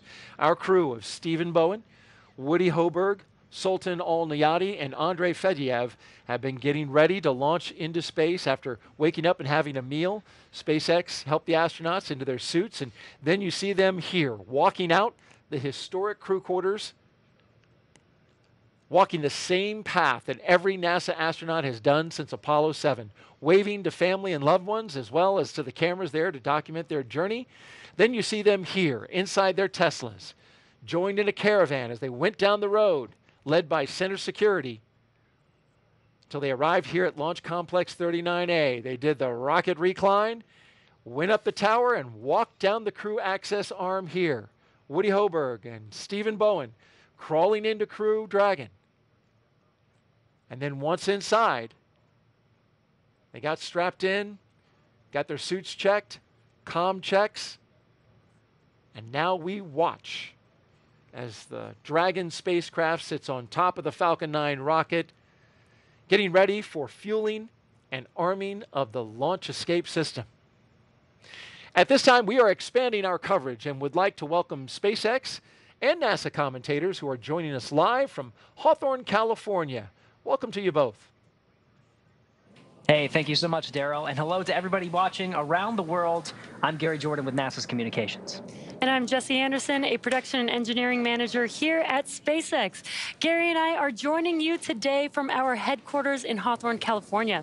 While Crew 6 marks SpaceX's sixth operational mission for NASA, it's actually our eighth human spaceflight mission to the International Space Station and overall 34th Dragon mission to the orbiting laboratory. And the Dragon supporting tonight's mission will be making its fourth visit to the station, having previously supported Demo 2, Crew 2, and Axiom Mission 1. And speaking of Demo 2, the spacecraft was named Dragon Endeavour by Bob and Doug during its inaugural flight in May of 2020. And yet another fun fact, tonight's launch marks our four-year anniversary of the Demo 1 mission, which launched on the same day, just a couple of hours later than we're launching today, which served as an end-to-end test flight of Dragon's capabilities. Since Crew 1 in November of 2020, SpaceX has been regularly flying commercial crew missions for NASA to and from the International Space Station at an average cadence of about one flight every six months. It took a lot of love and dedication to get here today, and we are still learning and innovating from every launch. From the beginning, Dragon was designed to eventually fly people to help further our ultimate goal of making life multiplanetary. The Dragon hanging from the ceiling behind us was initially flown to certify SpaceX for cargo missions to the space station over 10 years ago. It flew back in 2010, but it included a window because the vehicle had been designed from the beginning to fly crew. We always knew that this was the direction that we wanted to go in. As we continue the countdown to liftoff, we'd like to welcome you to SpaceX Mission Control in Hawthorne. This is where our teams are staffed around the clock to monitor Dragon and the mission overall. On console or headset in Mission Control are six key positions. The mission director is in charge of the room and tasked with making real-time decisions to ensure mission success. The person that you may hear talking to the astronauts is the crew operations and resources engineer, who you'll hear us refer to as the core throughout the broadcast. And the four additional team members are focused on vehicle systems, including avionics, navigation and control, software, propulsion, life support, and communication with ground support teams. Apart from Mission Control, our Falcon 9 team is currently located in Firing Room 4 in the Launch Control Center at Kennedy Space Center in Florida. Now, with less than an hour until launch, they are settling in for final checkouts, propellant loading, and for launch. And then, of course, NASA has its own team members at NASA's Mission Control Center in Houston, Texas, who have been preparing the space station for Dragon's arrival. And they recently gave their go for launch, saying that the station is ready to receive the new crew. Upon liftoff, today's ride to the space station will take about 24 and a half hours, with Dragon flying autonomously the entire way. And just like autopilot on a commercial aircraft, the crew always has the ability to take manual control of the spacecraft if needed. Now at under T minus 55 minutes, we are looking good for an on-time liftoff, and our very own incredible Kate Tice has been monitoring the progress of the countdown. How's it going so far, Kate? Thanks, Jesse. I'm Kate Tice, SpaceX Quality Systems Engineering Manager, bringing you vehicle status updates this evening. It's been a pretty smooth countdown so far. The Crew 6 astronauts wrapped up ingress at T minus 2 hours and 34 minutes. Since then, the teams completed the required com checks, suit leak checks, and side hatch closure, as well as side hatch leak check. The closeout team has departed the BDA, and the pad is clear. Now, as for Falcon 9, our two-stage reusable rocket that you see there on your screen, final propulsion checkouts of first and second stages began a few minutes ago in preparation for propellant loading. This involves testing valves and engine pneumatic pressurization. Now, as you might be able to guess from the lack of re-entry soot on Falcon 9's first stage, which is the lower two-thirds of the vehicle there, that booster will be flying for the first time tonight. Now, at T minus 45 minutes, less than 10 minutes from now, the team will report their readiness for prop load with a final electronic go no go poll. Before we can begin propellant loading on Falcon 9, we still have a couple tasks to perform. First, the crew access arm will be moved out of its service position as you see it in now, and it will rotate away from the Dragon capsule and over to its launch position. That will happen between T minus 44 and 42 minutes, almost immediately after the T minus 45 minute launch director's briefing. With the access arm out of the way, the launch escape system will then be armed. Once those two events are complete, Dragon will be ready for Falcon propellant loading. As for weather, we will also verify with the launch weather officer that all of the weather conditions meet our launch constraints. Those include items such as wind speed, lightning, and precipitation in the area surrounding pad 39A. But tonight, we're expecting uh, acceptable weather conditions for launch, both at surface level and upper altitudes. Uh, once again, our uh, probability of violation of those conditions is only 5%, so looking good. The range is currently clear for launch. A worldwide network of ground stations and tracking and data relay satellites, or TDRS, are ready to support. And those are what help us get live views and data as Dragon heads into orbit. Today we have an instantaneous launch window at 12:34 a.m. Eastern. As I've said before, once we begin propellant load, there is no opportunity to change the T0. The timing for Dragon to rendezvous with the International Space Station is down to the exact second. So today we only get one chance. But the good news at T minus 51 minutes and 32 seconds, uh, we and counting, uh, we are go for launch. Great news. Thanks, Kate. Today's launch marks the sixth time a rotational crew will fly on a commercial spacecraft. And much like our previous crews, today's crew has been training with our teams at SpaceX for the last several months, running nominal and emergency simulations of what the full mission will look like while seated inside of Dragon.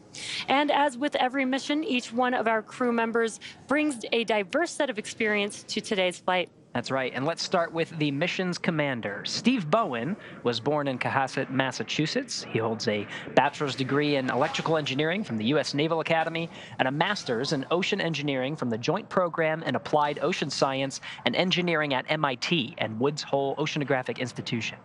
In July 2000, Bowen became the first submarine officer selected as an astronaut by NASA. This will be Bowen's fourth trip into space as a veteran of three space shuttle missions STS-126 in 2008, STS-132 in 2010, and STS-133 in 2011. Bowen has logged more than 40 days in space, including 47 hours, 18 minutes during seven spacewalks. As mission commander, he'll be responsible for all phases of flight aboard Dragon, from launch to reentry. Warren Woody Hoburg is from Pittsburgh, Pennsylvania. He earned a bachelor's degree in aeronautics and astronautics from MIT and a doctorate in electrical engineering and computer science from the University of California, Berkeley. He is also a commercial pilot with instrument, single engine, and multi engine ratings. The mission will be Hoburg's first flight since his selection as an astronaut in 2017. As pilot, he will be responsible for spacecraft systems and performance on Dragon. Sultan Al Neyadi will be making his first trip to space, representing the Mohammed bin Rashid Space Center of the United Arab Emirates. Aboard Dragon, he'll serve as a mission specialist, working to monitor the spacecraft during the dynamic launch and re entry phases of flight. He spent time in the UAE military prior to becoming one of the first two individuals selected by his country when they started their space program just a few years ago in 2017. Al Neyadi will be the first UAE astronaut to fly on a commercial spacecraft. Andrei Fedyaev will be making his first trip to space and will also serve as a mission specialist, monitoring the spacecraft during the dynamic launch and reentry phases of flight. He was selected as a cosmonaut in 2012 and will be the second cosmonaut to fly aboard a SpaceX Dragon. Each of these crew members will be a part of Expedition 68 upon their arrival to the International Space Station. Now let's head over to Kate Tice for another status update on the countdown. How's it going, Kate? Thanks, Jesse. Uh, we're coming up to T minus 48 minutes and 40 seconds. The SpaceX launch teams are finishing final review of data from all the checkouts of Falcon 9 over the last hour. The launch director has confirmed with the launch weather officer that weather meets propellant loading constraints. So up next will be to poll the team for readiness, both to load propellant and to launch. That will be the final poll prior to liftoff. The seven SpaceX responsible engineers, often called REs, indicate that they are go by electronically voting on the online countdown procedure. The launch director, or LD, also checks with the Dragon mission director, MD, and the NASA launch manager to make sure they are ready. Earlier, you saw the vehicle assembly building called the VAB. The Falcon and Dragon launch team, uh, as well as key NASA launch members, are in the Launch Control Center adjacent to the VAB. You can actually see where they are right now on the right hand side of your screen. They have a view straight towards pad 39A through those large windows of firing room 4. On your screen, you see there the Dragon capsule with the crew access arm still in the service position. The crew is on board Dragon waiting for the next instructions, which will be to stow the crew arm for launch and to arm the launch escape system. Once the launch director gives the final instructions to the launch team in that T minus 45 minute briefing, uh, immediately afterward, the crew arm sequence, uh, excuse me, the crew access arm sequence will be armed and initiated.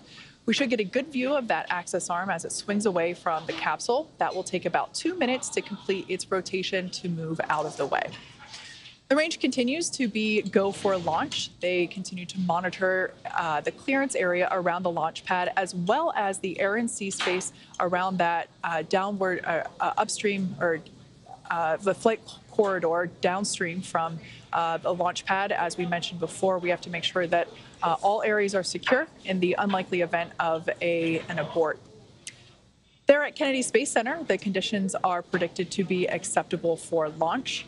Um, you can, if we had daylight, you'd be able to see that uh, conditions are pretty calm. There's uh, 13 mile per hour winds from the south southwest, uh, so pretty mild all in all. The downrange landing zones, as I mentioned before, are also within uh, the conditions as needed, uh, if needed for an escape. So everything also looking go downrange. Now, in about a minute, we will hear the uh, briefing from the launch director. As I mentioned before, uh, the readiness poll that is uh, underway is the final go for propellant load and for launch. There on screen, you can see the four crew members of Crew 6 waiting patiently to go to space. Not much for them to do at this moment, but wait for that LD briefing, which will be coming up in about 35 seconds.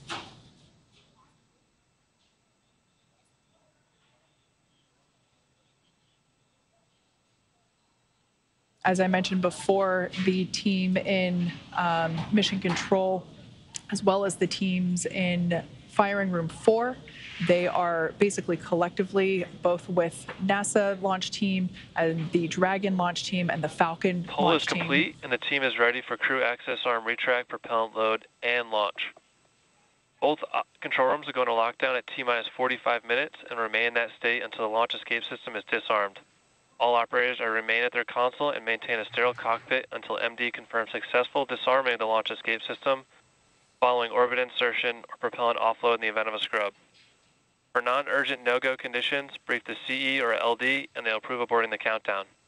For urgent issues affecting the safety of the operation, operator shall call hold, hold, hold on the countdown net.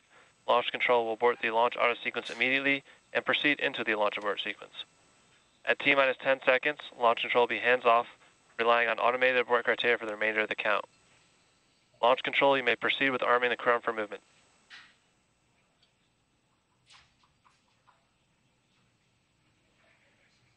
There we heard that final go for launch and prop load from launch director having. Arm, go.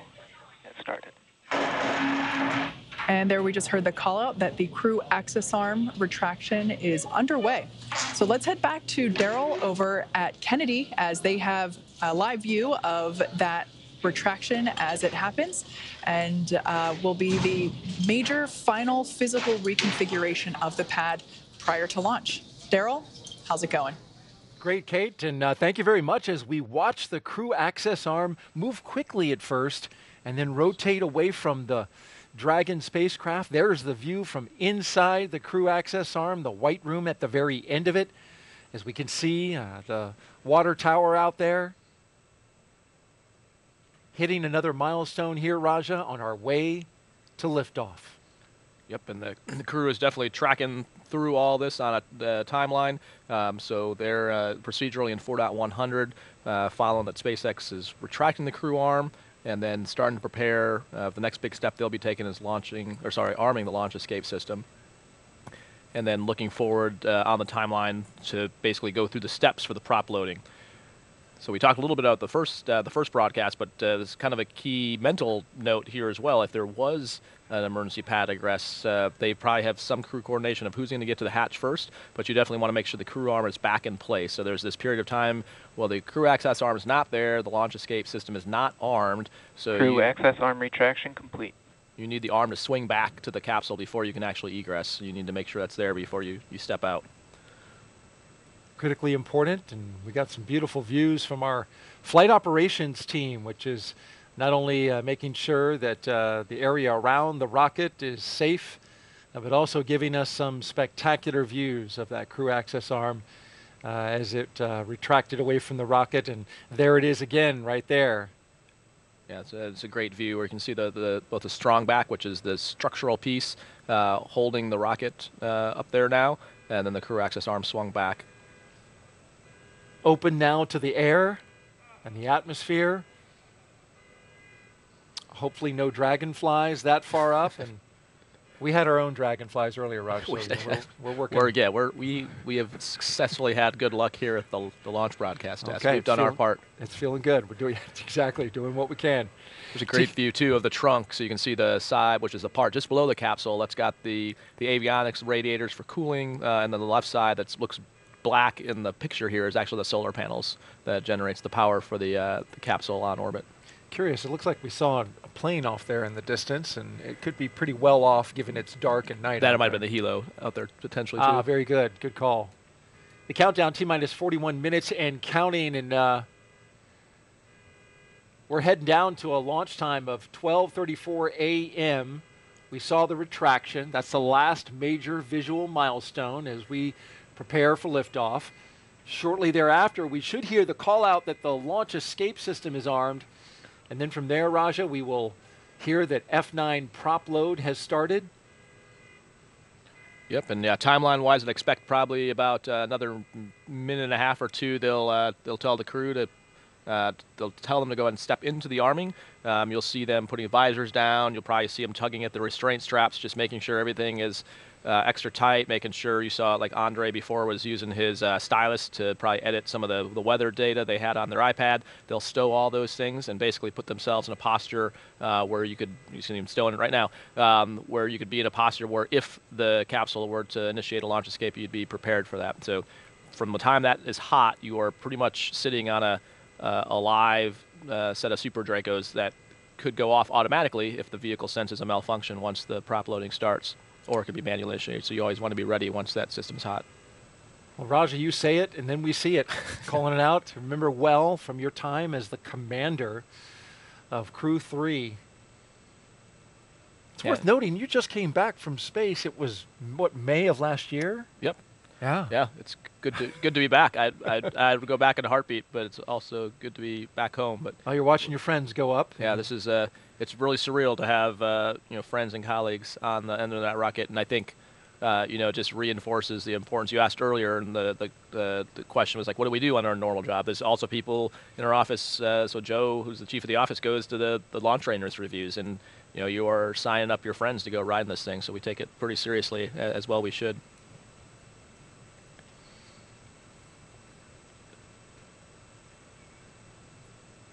You Crew kinda- strapped in? Yep, you can see just by Andre's left leg the red of that bag. We were talking about that earlier, but you couldn't see Dragon SpaceX, go for section six, close visors, armed launch escape system. All right, we're picking up section six on closing the visors and launch and arming the launch escape system. All right, so you see them reaching up to the displays. They're stepping into that section of the procedure, all verbalizing now with the visors down, that the Vox settings are correct so they can hear each other. SpaceX Dragon, visors are closed. We're arming the launch escape system. They have some telemetry on their display that shows them what the automatic thresholds are to make sure they're not violating one of those thresholds before they arm the system. We talked about that earlier tonight um, to make sure you don't inadvertently initiate a launch escape. And then we also talked about the flight computer stage, so that's what they're watching to actually know. So you actually hear the thunks because those valves that isolate the Super Dracos are in the capsule, so you can actually see like where that NASA worm is and where the, the U.S. flag is. Yeah, those are the engines Those are the are there, engines. yeah. So you're they're right by your head on the inside. So when you arm it, you can actually hear the sound of the valves opening up, and that's what allows prop to flow to the Super Dracos in the Mhm. event of a launch escape. Can you hear the prop flow as well? Uh, or- well, hopefully you never hear that sound. oh no. Okay, so it, it doesn't bleed in the system. No, Okay. no. It just opens the valve. Launch escape system is verified armed. There's the verification of arming of the launch escape system. Right on time with our milestones as we count down. And so for the crew, they're now closing out 4.100, which is their launch preparation uh, procedure. And they're now stepping ahead to what's the, the prop loading timeline on their displays, which is going to give them times of when is the, the different tanks are pressurizing and loading. There's no telemetry in the Dragon that tells you what the F9 tanks have in them in terms of amount of fuel. You can see what's in the Dragon, but not the F9. And so you rely on this timeline and the calls uh, from the team to know the status, and that gives you an indication based on the timeline you have if things are behind or ahead uh, or on timeline. The team on the ground can certainly see. Yes, absolutely. Yeah, the ground team can see that all, uh, but that's not all piped into tanks the are Dragon. venting for propellant load.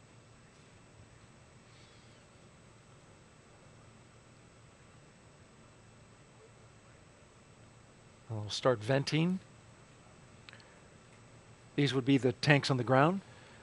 Right. So the, the, as they start to, the, they have what's called these giant accumulators that are full of the fuel that they then pump into the into the drag into the F9. And the, the two things I learned on our our first broadcast attempt, one is that the license plate changes every time. The, the second that I also learned from you is that you can tell out here how full the rocket is by looking at the level that the condensation comes off the outside of the rocket, which you uh, yeah, you can't see that on the inside, but that's a, a good technique for if you're watching on the outside and don't have the benefit of having the displays the crew has or the telemetry the ground has to just get a look at binoculars if you're standing on the causeway or on TV and know how full the tank is. Outdoor fuel gauge. Yeah. Only Wow. if you launch in the humidity of Florida. I don't know if that'd work in the desert as well. but- Well, we get to want, we get to see launches out at Vandenberg, California, and uh, it's a little drier out there. It still is on the coast, so we have some humidity, but uh, it is quite a sight. It's a definite pro tip. I, I didn't know that. I've been Oh, well, I've been in I- the office for five years. No, one- no one taught me that. Told so. an astronaut something Yeah. I'm feeling proud. but I tell you what, uh, you haven't learned nearly as much as I've learned in my time uh, being in these two uh, launch attempts, and so happy you could come back and count this down. We know our astronauts all around the country are watching. Checked in with Megan McArthur earlier. Had a nice little chat with her. She's watching. Other astronauts from the Corps. The astronaut corps is roughly what about 42 astronauts? Yep, about that. Yep. And then a, a new class called uh, they're named the Flies, the 2021 The class. Flies, they- about, that's about their name? halfway through their training. Yep, and looking Okay. forward to they're crushing it as you would expect. started. There's the call from the Corps. Yeah, here we go.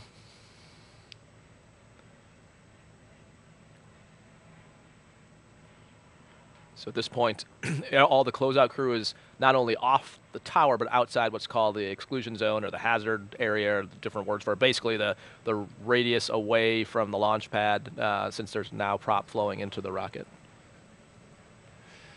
Well, T minus 34 minutes and counting until liftoff. Today We'll begin the next six month rotation mission to the International Space Station. As we've been documenting, we heard the launch escape system armed. Happened just before that propellant load began. Dragon capsule. It was loaded with its propellants about a week and a half ago, just a few miles down the road. In order to fly, Dragon needs a fuel and an oxidizer for the fuel. SpaceX uses monomethyl hydrazine, or what they call MMH, and nitrogen tetroxide, or NTO, for oxidizer. And together, these propellants feed those Draco engines that will maneuver Dragon on orbit. It also feeds those eight Super Draco engines you were talking about that would power the launch escape system in an abort scenario. And so, with that fueling having begun, that means those eight Super Draco engines inside Crew Dragon are ready.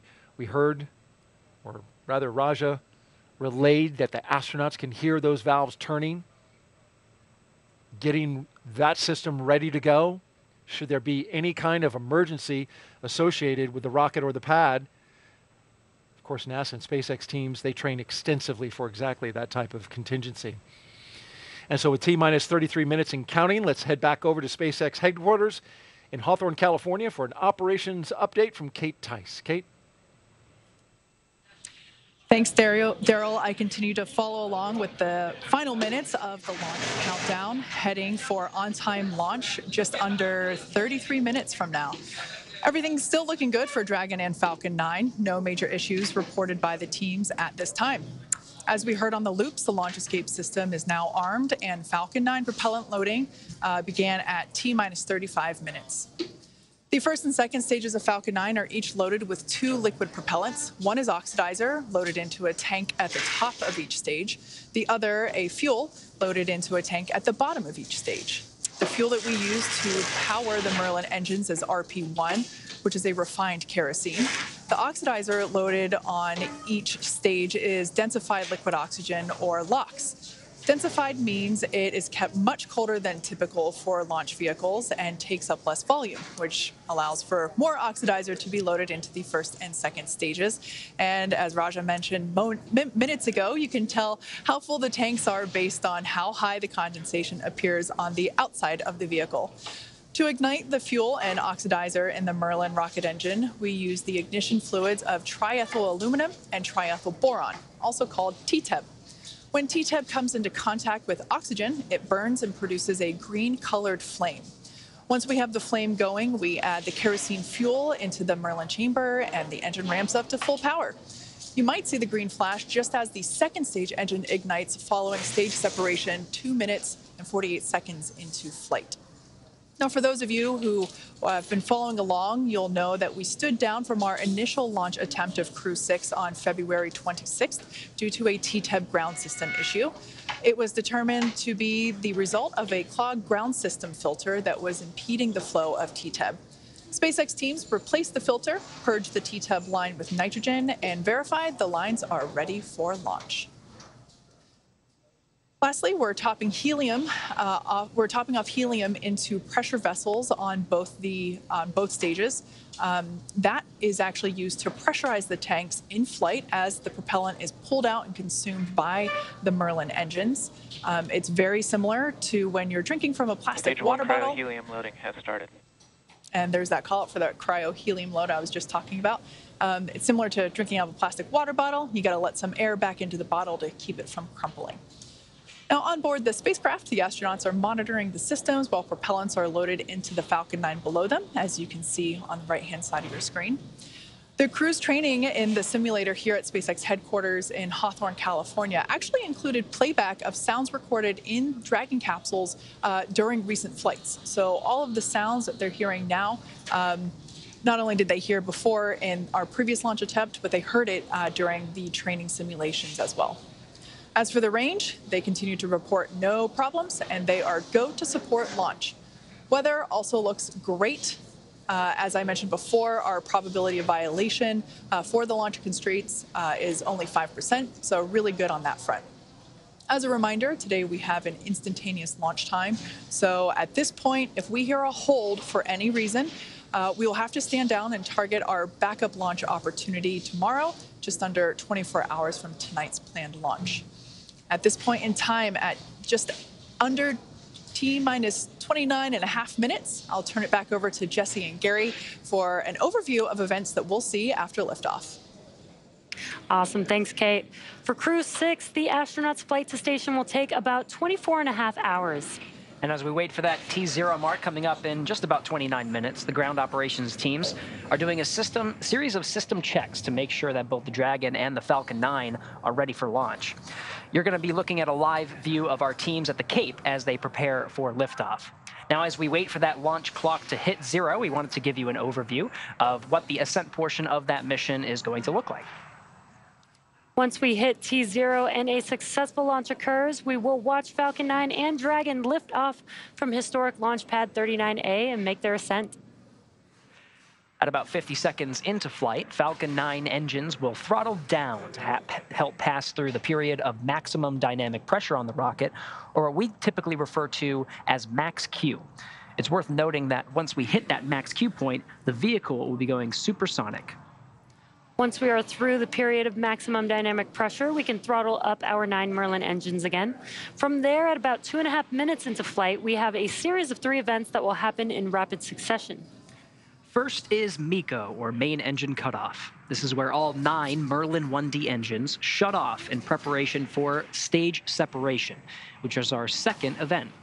This is where the first stage detaches from the second stage, with the first stage making its way back to Earth from landing, as the second stage continues on its journey with the third event, SES-1, or Second Stage Engine Start Number 1, where the MVAC engine lights up and propel propels the second stage, along with our Crew 6 astronauts, into orbit. As stage two heads towards its targeted drop off orbit, stage one will execute two burns in order to make its way back down home on Earth. The first is the entry burn. That's where three of the M1D engines will reignite and then shut down again. Now, this helps to slow the stage down in preparation for entry back into the Earth's atmosphere. And while the first stage is heading back to Earth, the second stage will cut off its one Merlin engine that was ignited right after stage separation. Once this happens, we'll wait for confirmation of a good orbital insertion. About 90 seconds after Dragon gets into orbit, Falcon 9 will land back on Earth. The landing burn is just a single engine burn, but it's powerful enough to bring the vehicle's speed down rapidly in order to land on our drone ship at about nine and a half minutes into the mission. And while the Falcon 9 first stage is landing, Dragon is preparing to separate from the second stage. At about three minutes after the second stage gets into orbit, we should have a great view of Dragon with its four person crew drifting away from the second stage. Once Dragon is a short distance away, it'll begin checking out its Draco maneuvering thrusters to make sure Dragon continues to increase separation distance from the second stage. It's worth noting that these are not the Super Draco engines that would be used during an abort scenario. About 40 seconds after separation, Dragon's nose cone deploy sequence will begin. It will take roughly four minutes for the nose cone hooks to unlatch and open, exposing its guidance navigation controls that will help Dragon autonomously fly to the space station. And lastly, once the nose cone is deployed, the remaining Draco thrusters on the forward bulkhead will be checked. From there, over the next 24-ish hours, Dragon will be in its rendezvous and approach phases undergoing a number of phasing burns as it makes its way to station. All of that will be coming up soon, but for now, let's check back in with Courtney in Mission Control Houston. Courtney. Thanks, Gary. The flight controllers here in Mission Control Houston are laser focused on the onboard systems of the space station, ensuring it is ready to receive Crew Dragon. They're also making sure communication links between the station, Dragon, and the ground are working properly, and the consensus to this point is that everything is proceeding right on track. Teams here in Mission Control Houston, the team in Hawthorne, and the astronauts aboard the space station will monitor the autonomous docking of the Dragon spacecraft on Friday. They'll perform a series of leak checks, then work to open the hatches on both the Dragon side and inside the station's pressurized mating adapter. We expect hatch opening to take place about an hour and a half after docking. Once on board, the astronauts will be greeted by the space station crew and will then join in for welcoming remarks for the new crew members. From there on out, they will no longer be referred to as Crew 6, but rather as flight engineers of the International Space Station until their return back to Earth. Here in Mission Control Houston, Flight Director Judd Frieling is on console overseeing the team for launch. And that's it from here in Mission Control Houston, so I'll toss it back to the team in Florida. Derrol, how's it looking? We're looking great out here, Courtney, and thank you very much as we cruise around the set here. Our production team doing a great job showing us all the sights and the sounds of the countdown of Crew 6. Liftoff is at 12:34 a.m. Eastern Time, and if you're just joining us, well, we're doing well. Having a great countdown, 24 minutes to go for the sixth astronaut rotation mission to the International Space Station under NASA's Commercial Crew Program. Commander Stephen Bowen, pilot Woody Hoburg, and mission specialist Sultan Al Neyadi and Andrei Fedyaev are strapped into the seats, as you can see them here inside Dragon Endeavour. The Falcon 9 rocket fueling operation well underway. The launch escape system is armed. That means Dragon is prepared to launch itself away from the Falcon 9 in case of an emergency on the pad or after liftoff. So far, operations looking and sounding as we would expect. And you can see on the rocket, we're filling her up. The condensation of the warm, humid Florida air down there shows you that, uh, well, my guess would be about a third, but uh, I have no actual uh, telemetry to tell me that. Just going by uh, the condensation coming off the rocket. It really super chills the skin on the outside of the rocket, and then that, uh, that uh, you know, condenses the air in the atmosphere, the water that's in the air. And it really is something to look at once it's ready to go, all the way up and down the rocket. And and the reason we make it, they make it super cold is, uh, you know, if there's probably let's see third or fourth graders out there, I know that's what my kids are learning about. Is like when something's really cold, it gets dense, so you can get more of it in there. So that's why it's important. You every drop of gas matters when you're trying to get to orbit. Every you want as much margin. John was talking before about uh, why we build the timelines we do, and you know we always hope everything goes nominally, but we train for all kinds of contingencies. And so, um, you know, we've been talking about launch launch escapes, but the the next phase is rendezvousing with the space station. And so we protect for you know a problem with either the station or the capsule, and having to you know back away and come back again in 24 hours. And so all that requires prop and gas and the further and higher the F9 can get the Dragon, the more options we have. So that's why that's why they chill the gas. You heard calls earlier about the cryohelium, um, and like they talked about it uh, out at Hawthorne. That means that that we have enough gas to pressurize the tanks, uh, and then next you'll start hearing probably in about another minute. They'll start talking about uh, stage two fuel being loaded, and so you'll hear calls. Uh, you'll talk, hear them talk about stage two and stage one. It's a two-stage rocket, so there's fuel and oxidizer for both the stages. Um, the first stage, like they described, having the nine engines, and the, the second stage having one. But both of those require have separate tanks for the fuel and oxidizer, and they'll you'll hear them calling those out. Because again, the crew um, probably can't as much hear it like the same way they hear the Super Draco valves, but you can hear uh, sort of some creaking and some noises. Uh, some definitely some vibrations. So getting a call before that happens just kind of reassures them that that sound is expected and gives them a reference point on the time that they're following. We're about 37 seconds away from completing stage two RP1 load. In the meantime, let's tell you about the crew. The commander of Crew 6 is Captain Stephen G. Bowen. He hails from Cohasset, Massachusetts. Married with three children, holds the title of first U.S. Navy submarine officer to be selected as a mission specialist by NASA. Captain Bowen is also a veteran of NASA space flights, including the space shuttle flights on STS 126, 132, and 133, the only astronaut to ever go consecutive back to back shuttles. Sitting next to Stephen is pilot Warren Woody Hoburg, the 37 year old from Pittsburgh. He studied aeronautics and astronautics from MIT before getting a doctorate in electrical engineering and a computer science uh, degree from the University of California, Berkeley. During grad school, Hoburg worked as an EMT with the Yosemite Search and Rescue. Crew 6 will be Stage Hoburg's. 2, RP1 load complete. And there's that load complete. Stage two is in the books. We'll load it up. And now you can see the venting off of that uh, liquid oxygen. Talking about Hoburg, this flight will be his first flight since NASA selected him to be an astronaut along with Raja Chari's class in 2017, the Turtles. In the role of mission specialist is astronaut Sultan Al Neyadi. He was chosen by the Mohammed bin Rashid Space Center of the United Arab Emirates to be a part of expeditions 68 69. Father of five, spent most of his life in Al Ain in Abu Dhabi, but in 2020 traded that in for astronaut training in Houston at NASA's Johnson Space Center. This will be his first trip to space. To space. And it's also the first trip for second mission specialist Roscosmos cosmonaut Andrei Fedyaev. He will be working to monitor the spacecraft during the dynamic launch and reentry phases of flight.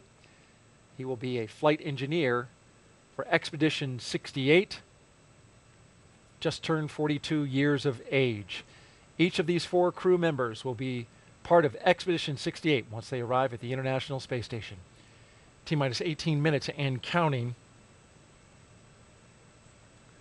We had strong back chill that began.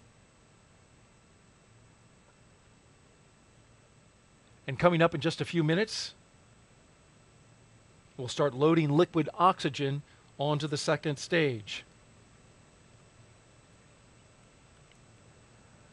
And I think a, a, great testament to the international partnerships of this program. Half the crew is, you know, international Sultan being the first uh, UAE astronaut to launch on a U.S. vehicle from the U.S. to have trained at Johnson Space Center.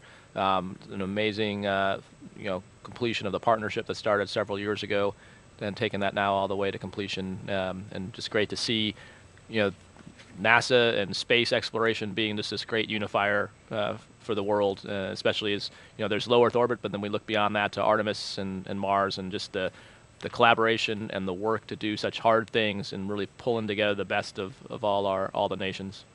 And the partnership of those nations rises above all else, and That's it's it. uh, it's impressive. The camaraderie of the crews in space with their international backgrounds. So that venting. So we talked about there's two things happening. in the Dragon case. SpaceX F9 is proceeding with prop load, and we're tracking no issues with Dragon or F9 going into launch. SpaceX Dragon copies. So an update from the core that's on track. So we talked about the condensation a few times. There's also the venting. So two different processes. The condensation is the super chilled fuel cooling the the metal and the skin around it. The venting is because it's super cold as it heats up on the inside just from the air temperature. You know, essentially working its way in there, it vents, and so that's just like a pot boiling, um, and just like you would you know lift the lid off a tea kettle to let the pressure out. Uh, this is the same thing you're seeing happen there. So that's what's happening kind of from the middle of the screen. Yeah, and, and on a calm night like tonight, the winds have totally died down. You can see it as it cascades down like a waterfall coming off uh, the middle of uh, the strong back there. Want to make a quick note about uh, the radio and how you can hear. If you're on uh, local amateur radio on the VHF radio frequency, turn into 146.940 megahertz and UHF radio frequency 444.925 megahertz on the FM mode. You can hear this all around the Stage space lock coast. load has started. And there goes our stage two LOX load on a beautiful night on the coast of central Florida. For stage one, that's going to continue to load, and we'll see that go all the way down to T minus six minutes in terms of uh, the RP1 load. In terms of LOX, that will continue until about T minus three to two minutes on the liquid oxygen side. A lot more volume, of course, in the first stage. Hey, let's throw up a quick social media question. What do you say, Raj? Sounds good. What we got here? At JSE Garin asks, Oh, I am nine years old and want to know if you can see airplanes on the ISS. I have never heard that question. So actually, uh, Megan uh, McArthur had a cool post where she took a picture of the ground and you can see the contrails of a plane. So you can't see a plane if it's not what we call conning, meaning contrails. You can, if you can find the contrails, then you can follow it back to find the plane. But it's super hard to find an actual airplane that's not in the contrails. Um, we also spent some time on Crew 3 trying to see who could one up each other to find ships. Uh, so you can cheat and look around the Panama Canal uh, to see if you could find ships there, but you, you need binoculars to help yourself. But if you know where to look uh, or along the shipping lanes, you can usually find some from ships. And then airplanes, if you look around, uh, like the places like over the Atlantic where you can look for contrails and find planes, but absolutely you can see them. What a great answer. Didn't know that. Thank you, Raj. Let's head out to Kate Tice now. Thanks, Derrol. Everything's still looking good for launch of Falcon 9 and Dragon Endeavour just under 15 minutes from now. Now, for those just tuning in, Falcon 9 began propellant load at T minus 35 minutes. Around T minus 20 minutes, Falcon 9 completed loading of RP1 fuel on the second stage. Fuel loading on the first stage remains underway. Um, and it is approximately uh, 80% full. Um, it will finish around T minus six minutes. Falcon 9 is also underway with loading of densified liquid oxygen, uh, and that will wrap up at T minus three minutes uh, for the first stage and T minus two minutes for the second stage. Coming up, we'll perform checkouts of the thrust vector controllers, a procedure called TVC wiggles. We'll command Falcon 9 to activate those thrust vector controllers and actually wiggle the engines a couple degrees. This verifies that those engines will be able to move while in flight, which is how Falcon 9 steers itself during the ascent phase. Dragon mission director and team reporting no issues. Communication checkouts are complete, the crew access arm is retracted, and the launch escape system is armed. And as you can see there, uh, on the right hand side of your screen, the crew is strapped in and ready to go to space. Everybody looks pretty calm and chill, uh, you know, given that they are going to space in uh, 13 minutes.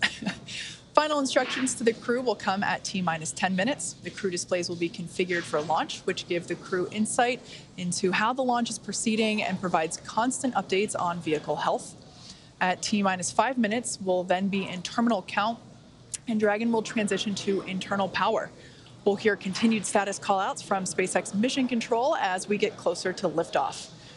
The ranges go. All secured air and sea space remain clear. And as you can see, weather, weather remains gorgeous uh, and everything still remains inbound for the launch criteria. So all in all, Falcon 9 and Dragon Endeavour, all systems remain go for launch in just 12 minutes and 34 seconds from now.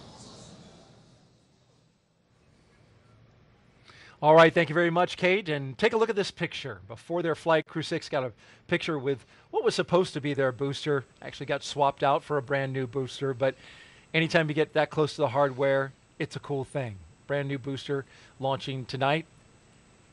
And at the time Falcon 9 and Dragon launches, the International Space Station, which is being tracked right here by Mission Control, will be 260 statute miles over the Bristol Channel, southwest of Cardiff, Wales. Crew 6, once they get off the ground, will spend the next 25 hours chasing down the International Space Station for a rendezvous at 1:11 a.m. Eastern Time tomorrow. It'll be Friday. And we'll have live coverage on NASA TV of docking and the Crew 6 welcome ceremony at 11 p.m. Eastern Time tonight. Final Right. thoughts, Raja? Yep, so- get ready to lift off. Yeah, so right here, they're uh, at 10 minutes. They'll probably say some thank yous to the ground. Uh, a lot of people got them here. Uh, you're going to see them messing with the displays. So Woody and Steve will be putting up what's called forward views on the outside displays, so the mission specialists can monitor the parameters. That's how they monitor anything that would uh, the performance is doing. In the center display, they'll bring up the event details uh, that show the launch, and you'll see them put their hands down once they get closer to launch, and they'll have this display up so they can basically watch. They'll have everything configured, and that's what they talk about configuring for launch, so that you don't have to touch it during the launch itself. Colonel Chari putting us in the seat of the astronauts with exactly what they're doing. Thank you so much. Appreciate it. And one more thing I want to say. I don't know, Raja. I have a feeling there's love in the air. Not going to give it away, but it just feels like there's love in the air. You got to stay tuned to find out more about that. For now, we'll turn it over to Gary and Kate at SpaceX headquarters in Hawthorne, California. Take us through the rest of the countdown. Thanks, Derrol. That's right. We're exactly t, minus 10 and a half minutes until liftoff of Crew 6. Uh, as you can see there on your screen, Falcon 9 is underway with propellant loading, as indicated uh, by those white clouds forming around the vehicle. Uh, the fuel loading is complete on the second stage. LOX load remains underway. It's about 40% full on the second stage.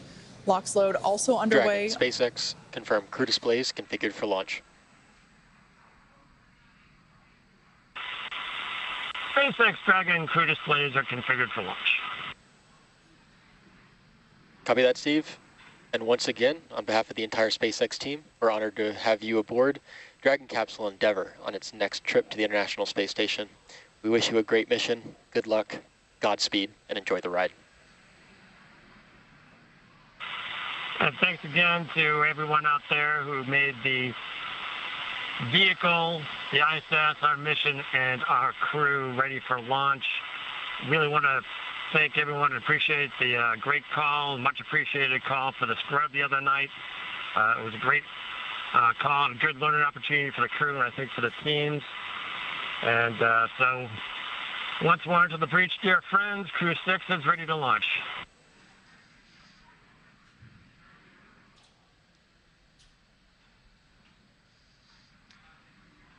Some nice words there between the crew, as you see there on your screen, and SpaceX Core, uh, located here at SpaceX Mission Control, which a live view uh, there on your screen. As you can tell by perhaps the, the ambient noise around me, the energy is starting to grow uh, in anticipation for launch coming up about eight and a half minutes from now. That's right. The energy is high here, Kate. Now, at that T minus 10 minute mark, we heard the good luck and Godspeed from the teams here in Mission Control in Hawthorne, where that crowd is gathering. Meanwhile, we're tracking the loading of fuel and oxidizer on the first and second stage. Second stage filled with fuel right now, continuing to fill with oxidizer. It'll be the last of the tanks to fill. Stage one continuing to be underway. At the 10 minute mark, you heard that call for configuring the uh, crew displays for launch. That was confirmed. At the T minus 10 minute mark, it also is a point where Falcon 9 launch commit criteria gets checked by the computers past that milestone. Now we're counting down to the next milestone at T minus seven minutes, which is setting up for engine chill.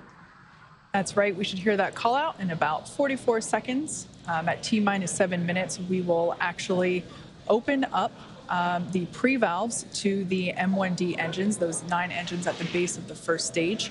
Um, that will allow a little bit of that super chilled, densified liquid oxygen to flow into the hardware, the, those turbo pumps, and that basically helps prepare the hardware from a thermal standpoint or a temperature standpoint uh, for that full flow of super chilled liquid oxygen. So um, we basically open up the pre-valves and a little bit of that LOX flows in and helps cool the hardware down in preparation for a full flow of liquid oxygen. Engine chill has started. And as expected, there's that call out for that engine chill, indicating the pre-valves are open and the engines are beginning to prepare for liftoff. Now under 6 minutes 45 seconds from launch. Again, we're continuing to fuel the Falcon 9 rocket. Stage 2 filled with the RP-1 kerosene. At the T-minus 6 minute mark, we should hear a call out that the stage 1 RP load is complete. They're just topping that off. Liquid oxygen on both the first and second stages stage one, come next. RP1 load complete. And there's that confirmation. We're counting down to T minus five minutes at this point. At T minus T minus five, the, the Dragon continue is configured for terminal count. And at terminal count, Dragon is switched to internal power, right now receiving power from umbilical lines from the ground. Also at uh, just under five minutes, we'll be waiting for strong back retract. The arm that's currently propping the Falcon 9 and Dragon up, we'll see the clamp arm start to open and the strong back itself will tilt about two degrees off from where it is now at a 90 degree position. Just a little off, and then it'll get out of the way completely upon liftoff.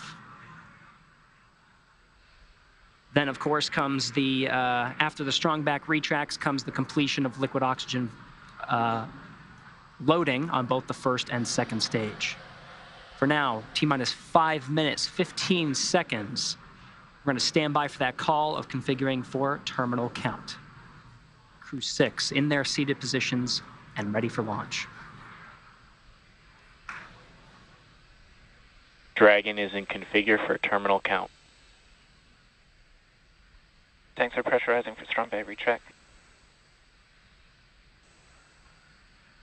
All right, and we heard both of those calls. Dragon onboard computers are going to take control of the vehicle. Should be seeing the clamp arm at the very top of the second stage, right underneath where you see the unpressurized trunk of Dragon, which is indicated by the half black and half white indicators, the black being the solar panels that provide power to the Dragon on its transit to the International Space Station. Got that confirmation of strong back retract. We should be able to visually see that strong back. The strong back will retract about two degrees away from the vehicle. Then at liftoff, the strong back will actually go back to 45 degrees. That strong back is part of the transporter erector, which provides uh, the liquids and gases and uh, electrical connections to the vehicle.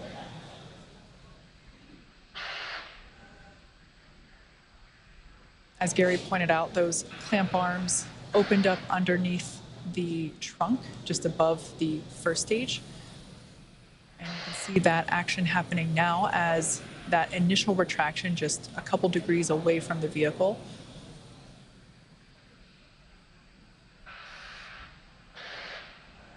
At this point in time, fueling remains underway, excuse me, propellant load remains underway. All fuels are loaded. That RP1 um, liquid oxygen load Stage should. one, LOX load complete. There, we just heard that call out that that is all done. Second stage LOX load still underway. That will wrap up at about T minus two minutes. Now that that first stage liquid oxygen uh, load is complete, we'll see um, some more of that white gaseous cloud forming around the vehicle uh, due to those lines being Dragon is closed in terminal count and on internal power. All right, good call out there indicating that Dragon is running on its own power. We are in the terminal count now at T minus two minutes and 29 seconds. The crew remains comfortable there on the right hand side of your screen. About 15 seconds remaining in stage two LOX load.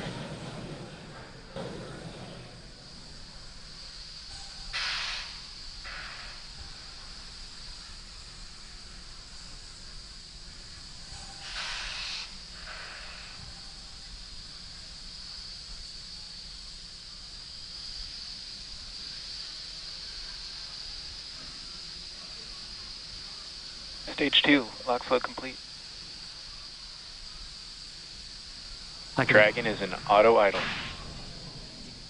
You heard those calls. The Falcon 9 fully fueled with RP1 rocket fuel as well as the liquid oxygen.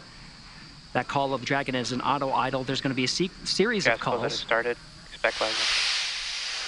There's the gas closeout, purging the lines of the fuel that has supplied the Falcon 9 with RP1 and liquid oxygen. Also wait for a call of the arming of the flight termination system. The Dragon flight computers are configured for launch. Flight termination system will allow Falcon 9 to talk to Dragon on the ride uphill. Terminate the flight, Falcon issuing 9 an abort. startup. Dragon is in countdown. T minus one minute and counting. Dragon is in countdown. Everything's looking good for launch.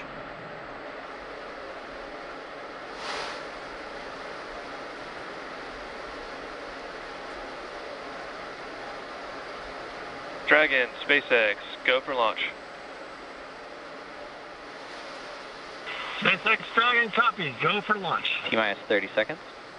T minus 30 seconds and counting. All teams pulled go.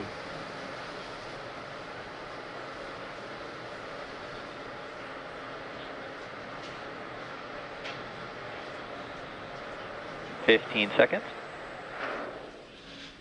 Ready for an on-time launch for the T minus instantaneous 10, run. 9, 8, 7, 6, 5, 4, 3, 2, 1.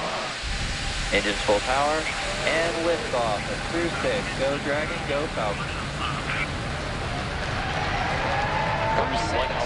Now launching on Endeavour's fourth flight to the International Space Station.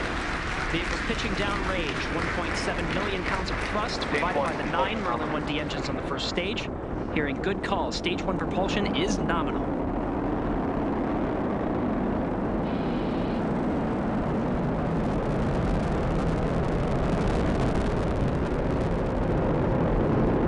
We're now at T plus 34 seconds into the sixth rotational crew mission on board Dragon and Falcon 9. Power and telemetry nominal.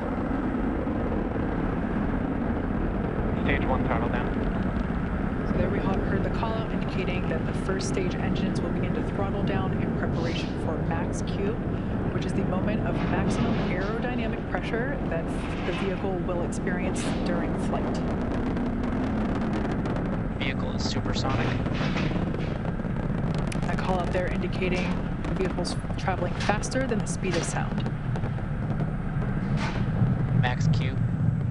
Stage one throttle up. All right, now that we're past max Q, One Bravo. Copy, one Bravo. That one Bravo indicator are different abort modes that are called that allow the ground teams and the crew to track about the position of the Falcon 9 and the Dragon as they make their way up the eastern seaboard. In the event of an abort, these different abort modes would indicate about the position where Dragon Back would land, started. as well as uh, indicate what series of maneuvers Dragon would indicate. But so far, we're hearing good calls on the performance of the Falcon 9 on its ride uphill. One minute 53 seconds into flight.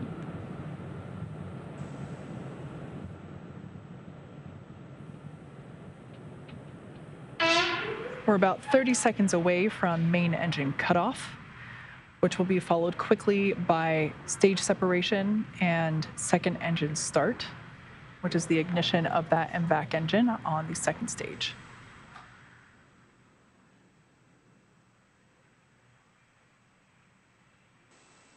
Now about 10 seconds away from main engine cutoff.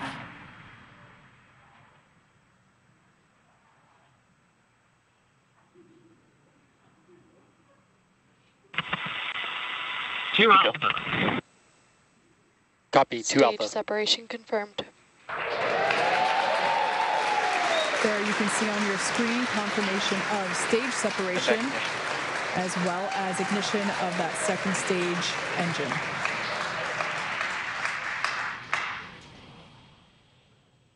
Second stage is now carrying the Crew 6 astronauts to orbit. Beautiful view there on the left-hand side of your screen coming from the first stage, which as you can see is still gaining in altitude. It has not yet uh, reached its apogee. A beautiful view of the Florida Space Coast there in the background. Meanwhile, we're tracking good performance on that MVAC engine. On the screen to your right, we'll be hearing periodic performance calls about once every minute of the status of the trajectory of the second stage and the Crew 6 astronauts that are inside Crew Dragon Endeavour. We'll also be hearing Position call outs. Bermuda. Just like you heard just there, as we pass over the various ground stations along the ascent track. Dragon, SpaceX, nominal trajectory. There's that performance call out. Dragon acknowledges nominal trajectory. As for the first stage there on the left-hand side of your screen, that first stage still gaining in altitude, although um, that gain is slowing down. Um, it will be making its way back down to Earth, landing, uh, attempting a, a landing on our drone ship. Just read the instructions, which is located um, off the Florida coast by a couple hundred miles.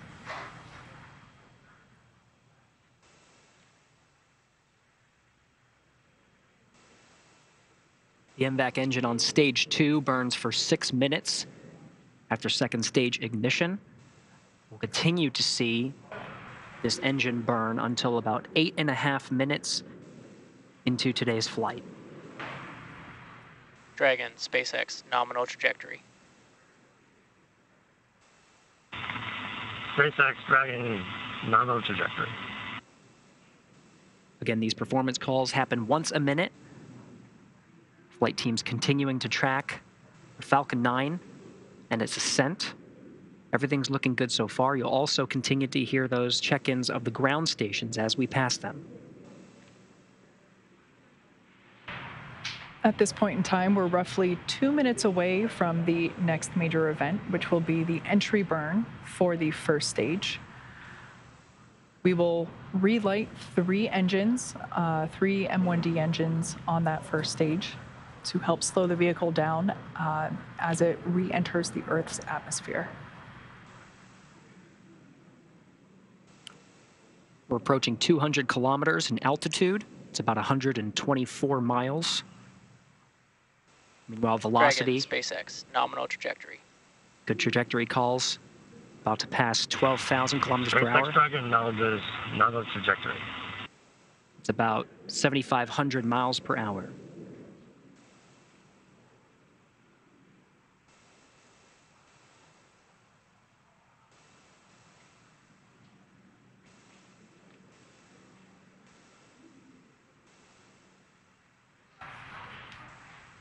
Everything looking nominal for both first and second stages. Now coming up to T plus six and a half minutes into flight.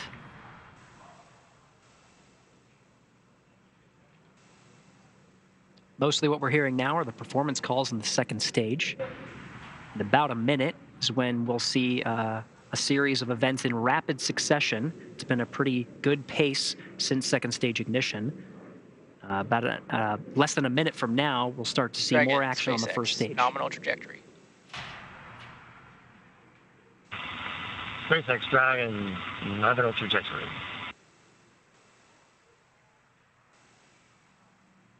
As Gary mentioned, those callouts occurring about once every minute. Now we're about 20 seconds away from the first stage entry burn. That burn will last about 30 seconds and help slow the vehicle down as it re-enters back into the Earth's atmosphere. Stage one entry burn startup. And there you can see Stage two, FTS has safed. on your screen that first stage entry burn has begun. That booster sees high drag, which actually scrubs roughly 70% of the velocity by the time that the landing burn begins. So about another 10 seconds of this entry burn. Again, three engines relit, the center and two Stage one radial engines. And conclusion of that entry burn.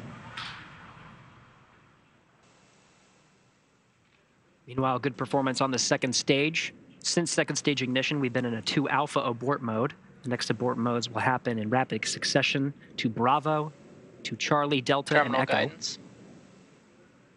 Each indicating different series of maneuvers in the event of an abort scenario. But as you've been hearing through the periodic checks, we're seeing good trajectory, good performance on the Dragon and Falcon 9.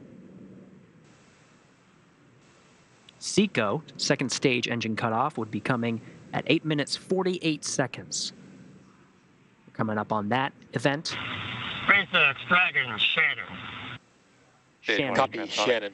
Now off the coast of Shannon, Ireland. Standing by for Seco.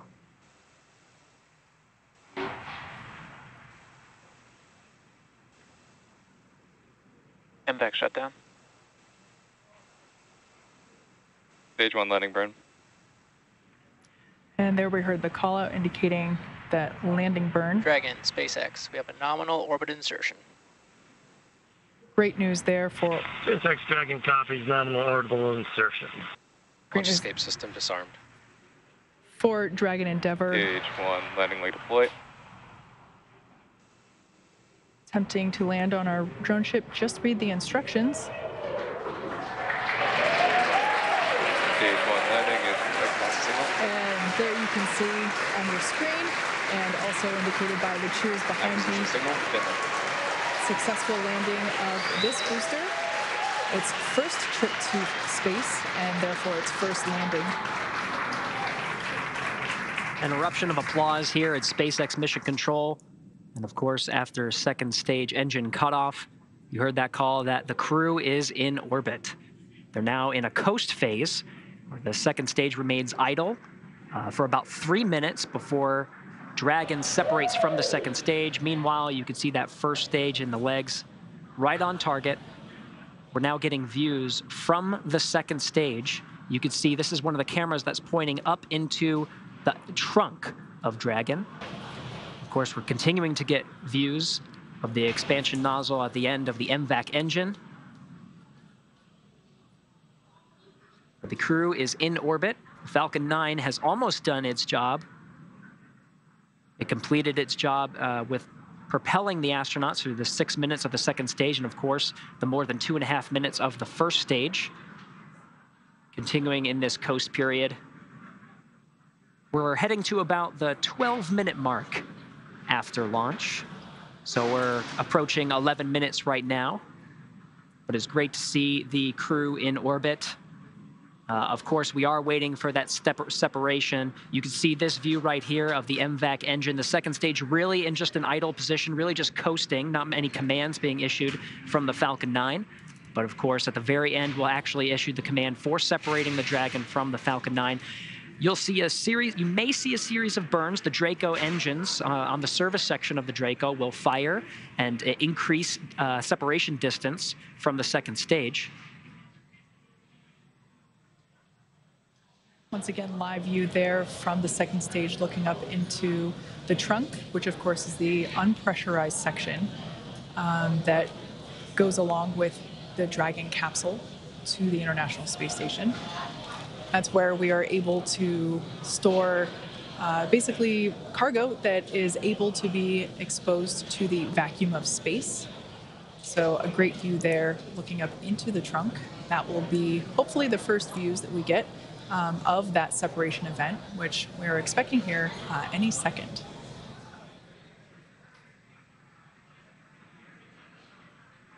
There you can see on your screen confirmation. Dragon separation confirmed. Of that separation confirmed.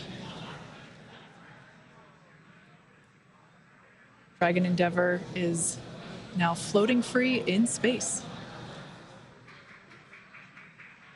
That's right, the Falcon Dragon, 9. CE here. Welcome to orbit. Congratulations. Your flight is exactly four years after the flight of the Demo 1 mission. Like Andre said, all the best things take two tries. Happy that we could get you off tonight. Uh, if you enjoyed your ride, please don't forget to give us five stars. Over to LD for some words. Also, a friendly reminder to put your sushi orders in for CRS 27. Have a safe ride to the space station, and we look forward to seeing you when you get home. Thank you for flying SpaceX. Expected loss of signal, Bermuda. And SpaceX Dragon copies all. That was fantastic. Thank you.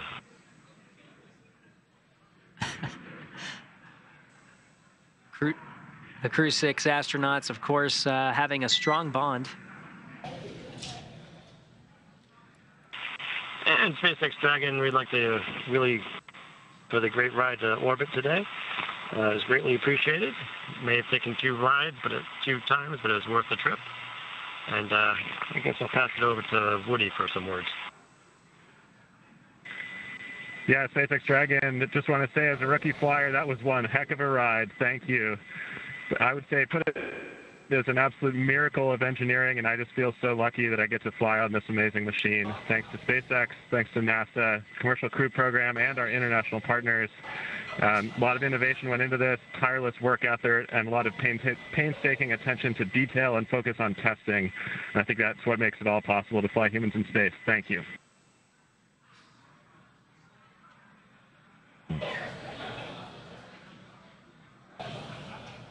Some really nice words.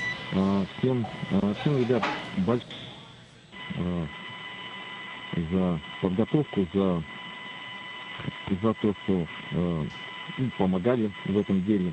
Мне всем ребятам. И я хочу сказать, что, что сегодня человечество делает еще один шаг в подготовке к новому большому скачку.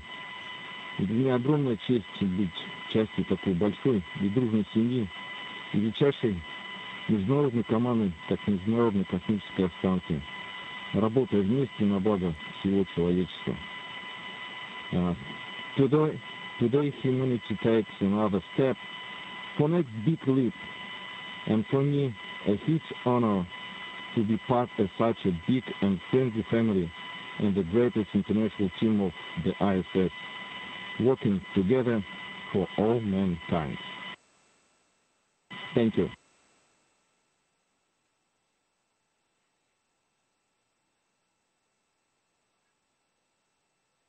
Well said, everybody. Uh, allow me to say a few words in Arabic first. السلام عليكم ورحمة الله وبركاته. الحمد لله وصلنا الفضاء. بس بغيت أشكر أمي وأبوي وأشكر عائلتي. شكرا للقيادة الرشيدة وشكرا لمركز محمد بن راشد للفضاء اللي يعطوني الثقة هذه. وكذلك أشكر كل من جهزنا ودربنا لهذه اللحظة التاريخية من مختلف وكالات الفضاء في أنحاء العالم. شكرا لكم جزيلا شكرا SpaceX لإيصالنا للفضاء I would like to say thank you to, for everybody. Thanks to my parents, my family, thanks to our leadership, the Mohammed bin Rashid Space Center for their trust. Thank you for everybody who trained us and got us ready for this mission. This is incredible. Launch was incredible, amazing. Thank you so much. And last but not least, thank you, NASA. Thank you, SpaceX, for flying us to space. Go Dragon, go SpaceX. And allow me to introduce our fifth crew member. His name is Suhail, and Suhail is the Arabic name for the star Canopus. And in the Middle East, we anticipate the appearance of Canopus because it marks the end of summer and the beginning of cool time. And Canopus is actually the second brightest star in the night sky. And this is the second flight for uh, Suhail because he flew with uh, astronaut Hazza AlMansouri in 2019. And many people think Suhail is uh, an, an alien, but to me, Earth in a spacesuit, but with high ambitions. Thank you once again, and talk to you from the ISS.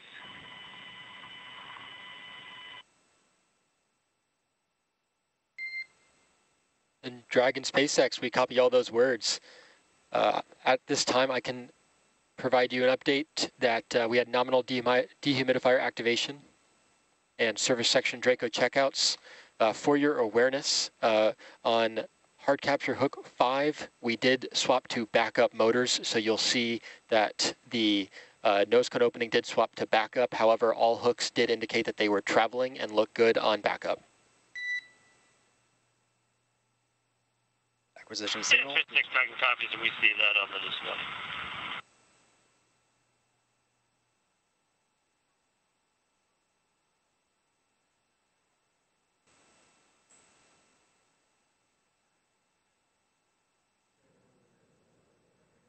All right.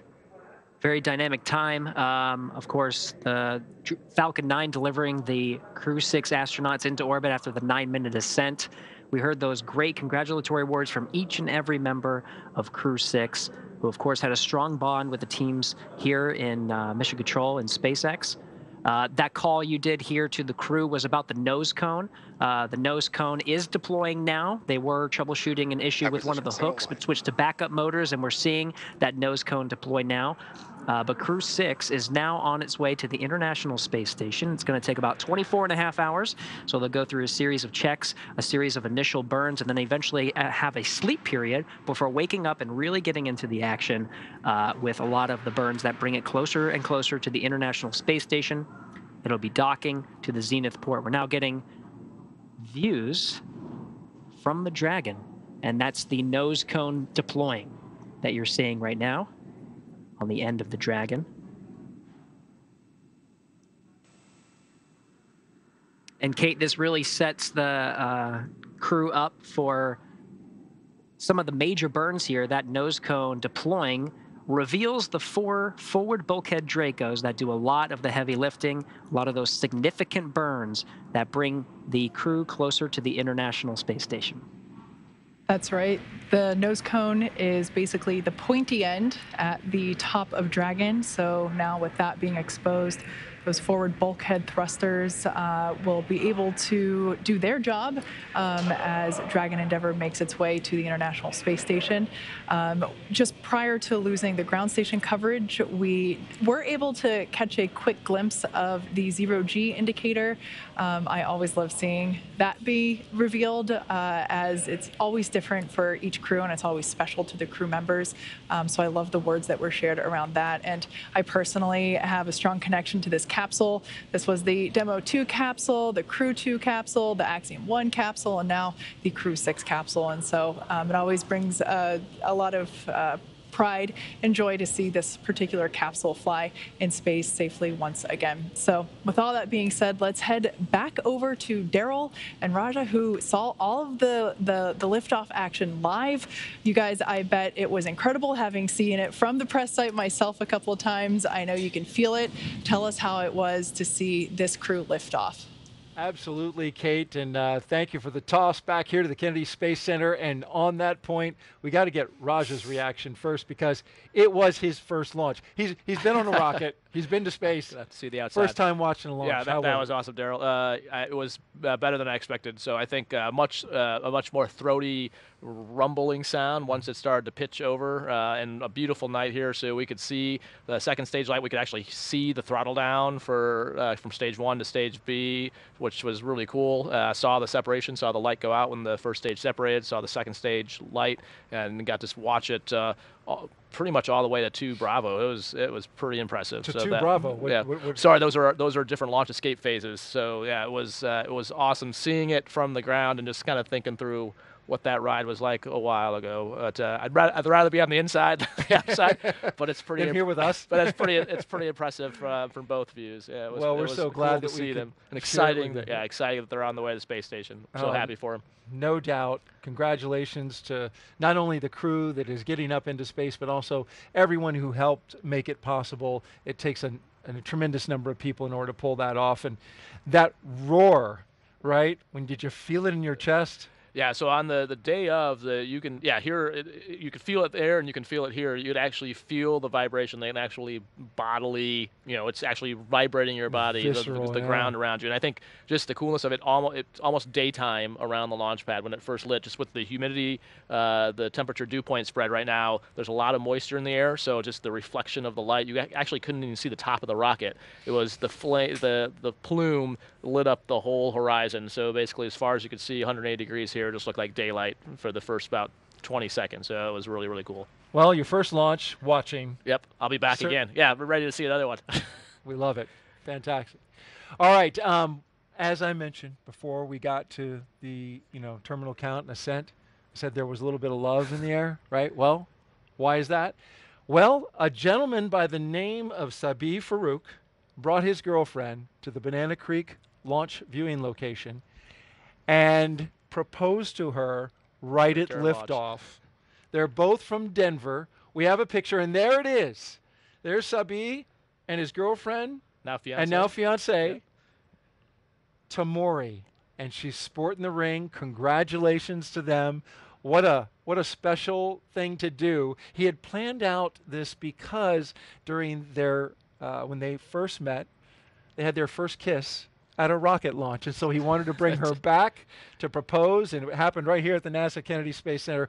What a neat love That's story, cool, huh? Yeah, what a great story. Yeah. Congratulations to both of them.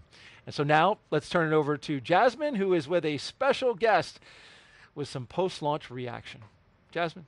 Thank you so much, Derrol. Here on the balcony of OSB2, we had a great view of launch, and the crowd around us just erupted in cheers. It lit up the night sky. Joining us now is Kennedy Space Center Deputy Center Director Kelvin Manning. Thank you so much for being here. Well, it's great to be here, Jasmine. We are so glad to have you. And Kelvin, first question is easy. What did you think of launch?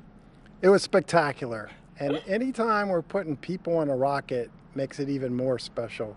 So we launch satellites, we launch all kind of things, but tonight it was Steve, Woody, Sultan, and Andre um, watching them walk out, saying goodbye to their families, and uh, for us to get them off safely onto the International Space Station, that's a huge accomplishment. It really is a huge accomplishment. Derrol just mentioned love in the air, and we saw that great proposal at uh, Banana Creek. And Commercial Crew is really the perfect marriage of our commercial and our international partners. Isn't that right, Kelvin?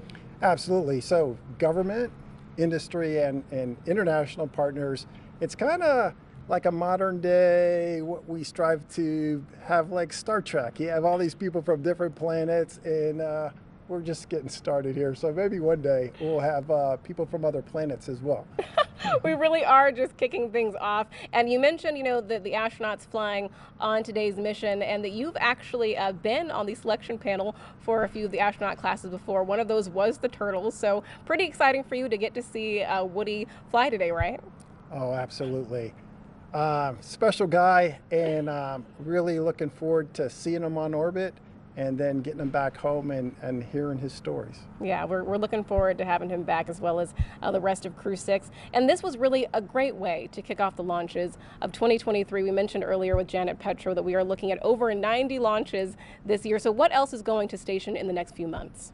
Okay, we got a cargo resupply mission, CRS 27.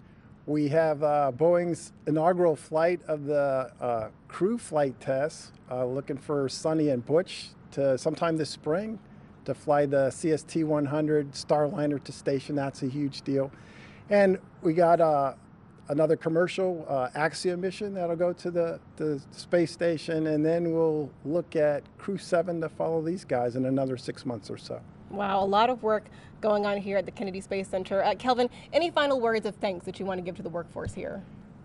Yeah, it's all about the team, and this is America's space program. You talked about our industry partners, our other government partners, and our international partners. Uh, we have a lot to be proud of, and like we said, we're just getting started. So thank you, Jasmine. Of course, and this really is the dream team. We appreciate you being here tonight, Kelvin. All right, thank you. Derrol, back to you. Thank you so much, Jasmine. And you see her working the love in there with the CCP. well done. Thank you very much.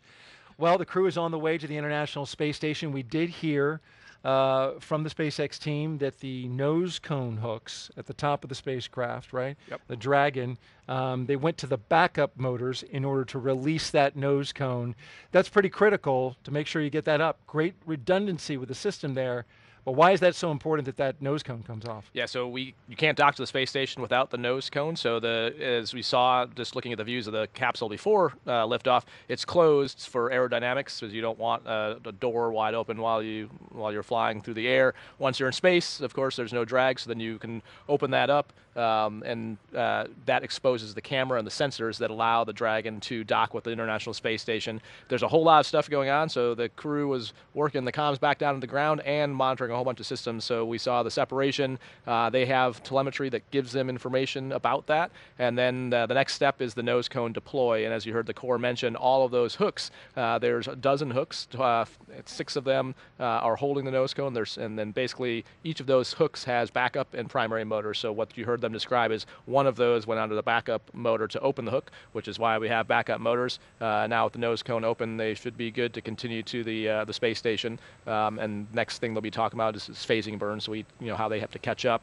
Mhm. Uh, I'm sure there'll be teams looking at uh, the data from that to see if it was kind of like we talked about earlier in the broadcast. Was it actually a problem with the primary motor, or was it just bad telemetry? Uh, so the ground has some ability to, to suss that out with some extra data they have. They can try resetting things. So my guess is when they go to actual docking, they may retry that primary motor just to see if it's working, and then they have the backup Oh. motor still as a, an option. Um, so they still have the redundancy, but uh, they'll sort through uh, maybe troubleshooting that some more. But I don't think it should affect the the So follow on. those hooks are used when they dock. Right, the same, yeah, the same hooks. Uh, there's a soft capture and a hard capture, a hard hook system that, that attaches them to the space station. But again, as long as the backup motor's working, it should be fine. Should be good to go. Yep. All right. Well, we will track it all along the way, and we know we saw visual confirmation of the nose cone coming off. Yep. Saw that right on the video with the cameras that SpaceX has, and so now, Stephen, Woody, Sultan. And Andre are on course to arrive at the International Space Station around 1:17 a.m. Eastern Time tomorrow. And of course, NASA TV will be wrapping up our coverage, but you can follow along with Crew 6's entire ride to the station and hear real time audio from space to ground on our mission audio stream on YouTube.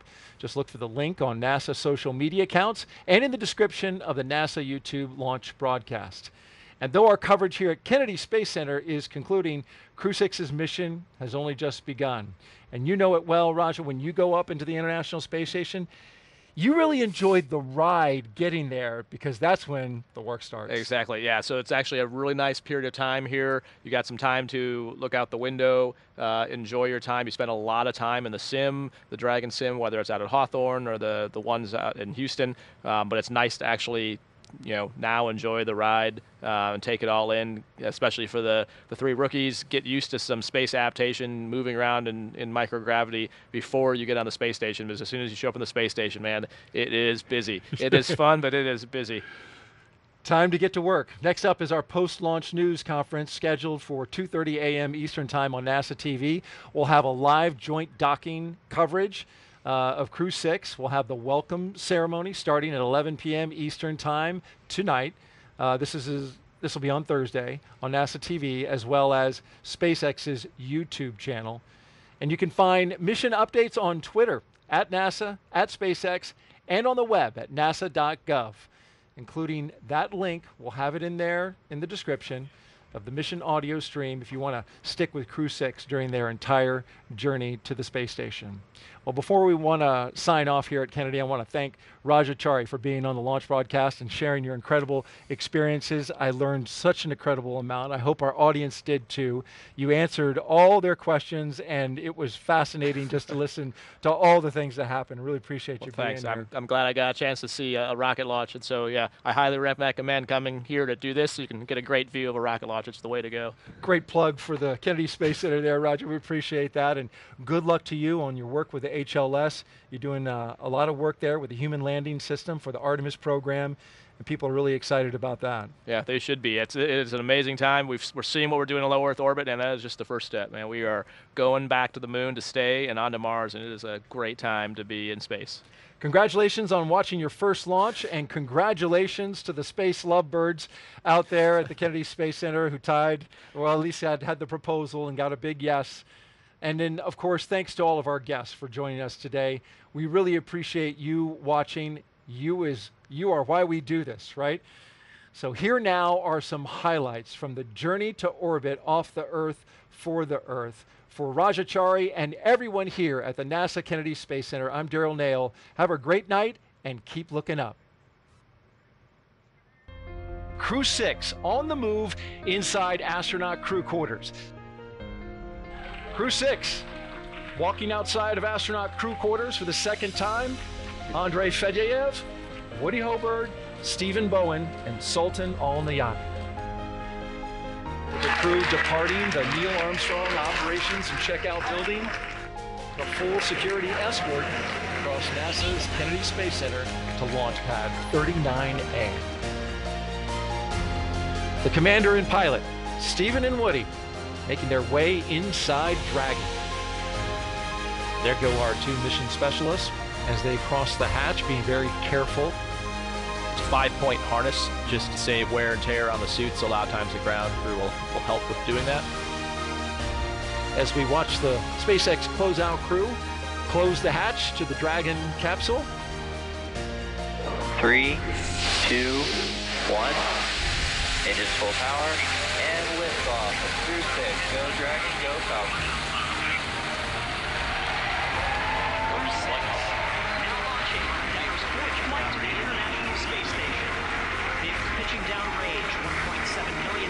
thrust, 559 rolling with the engines on the first stage.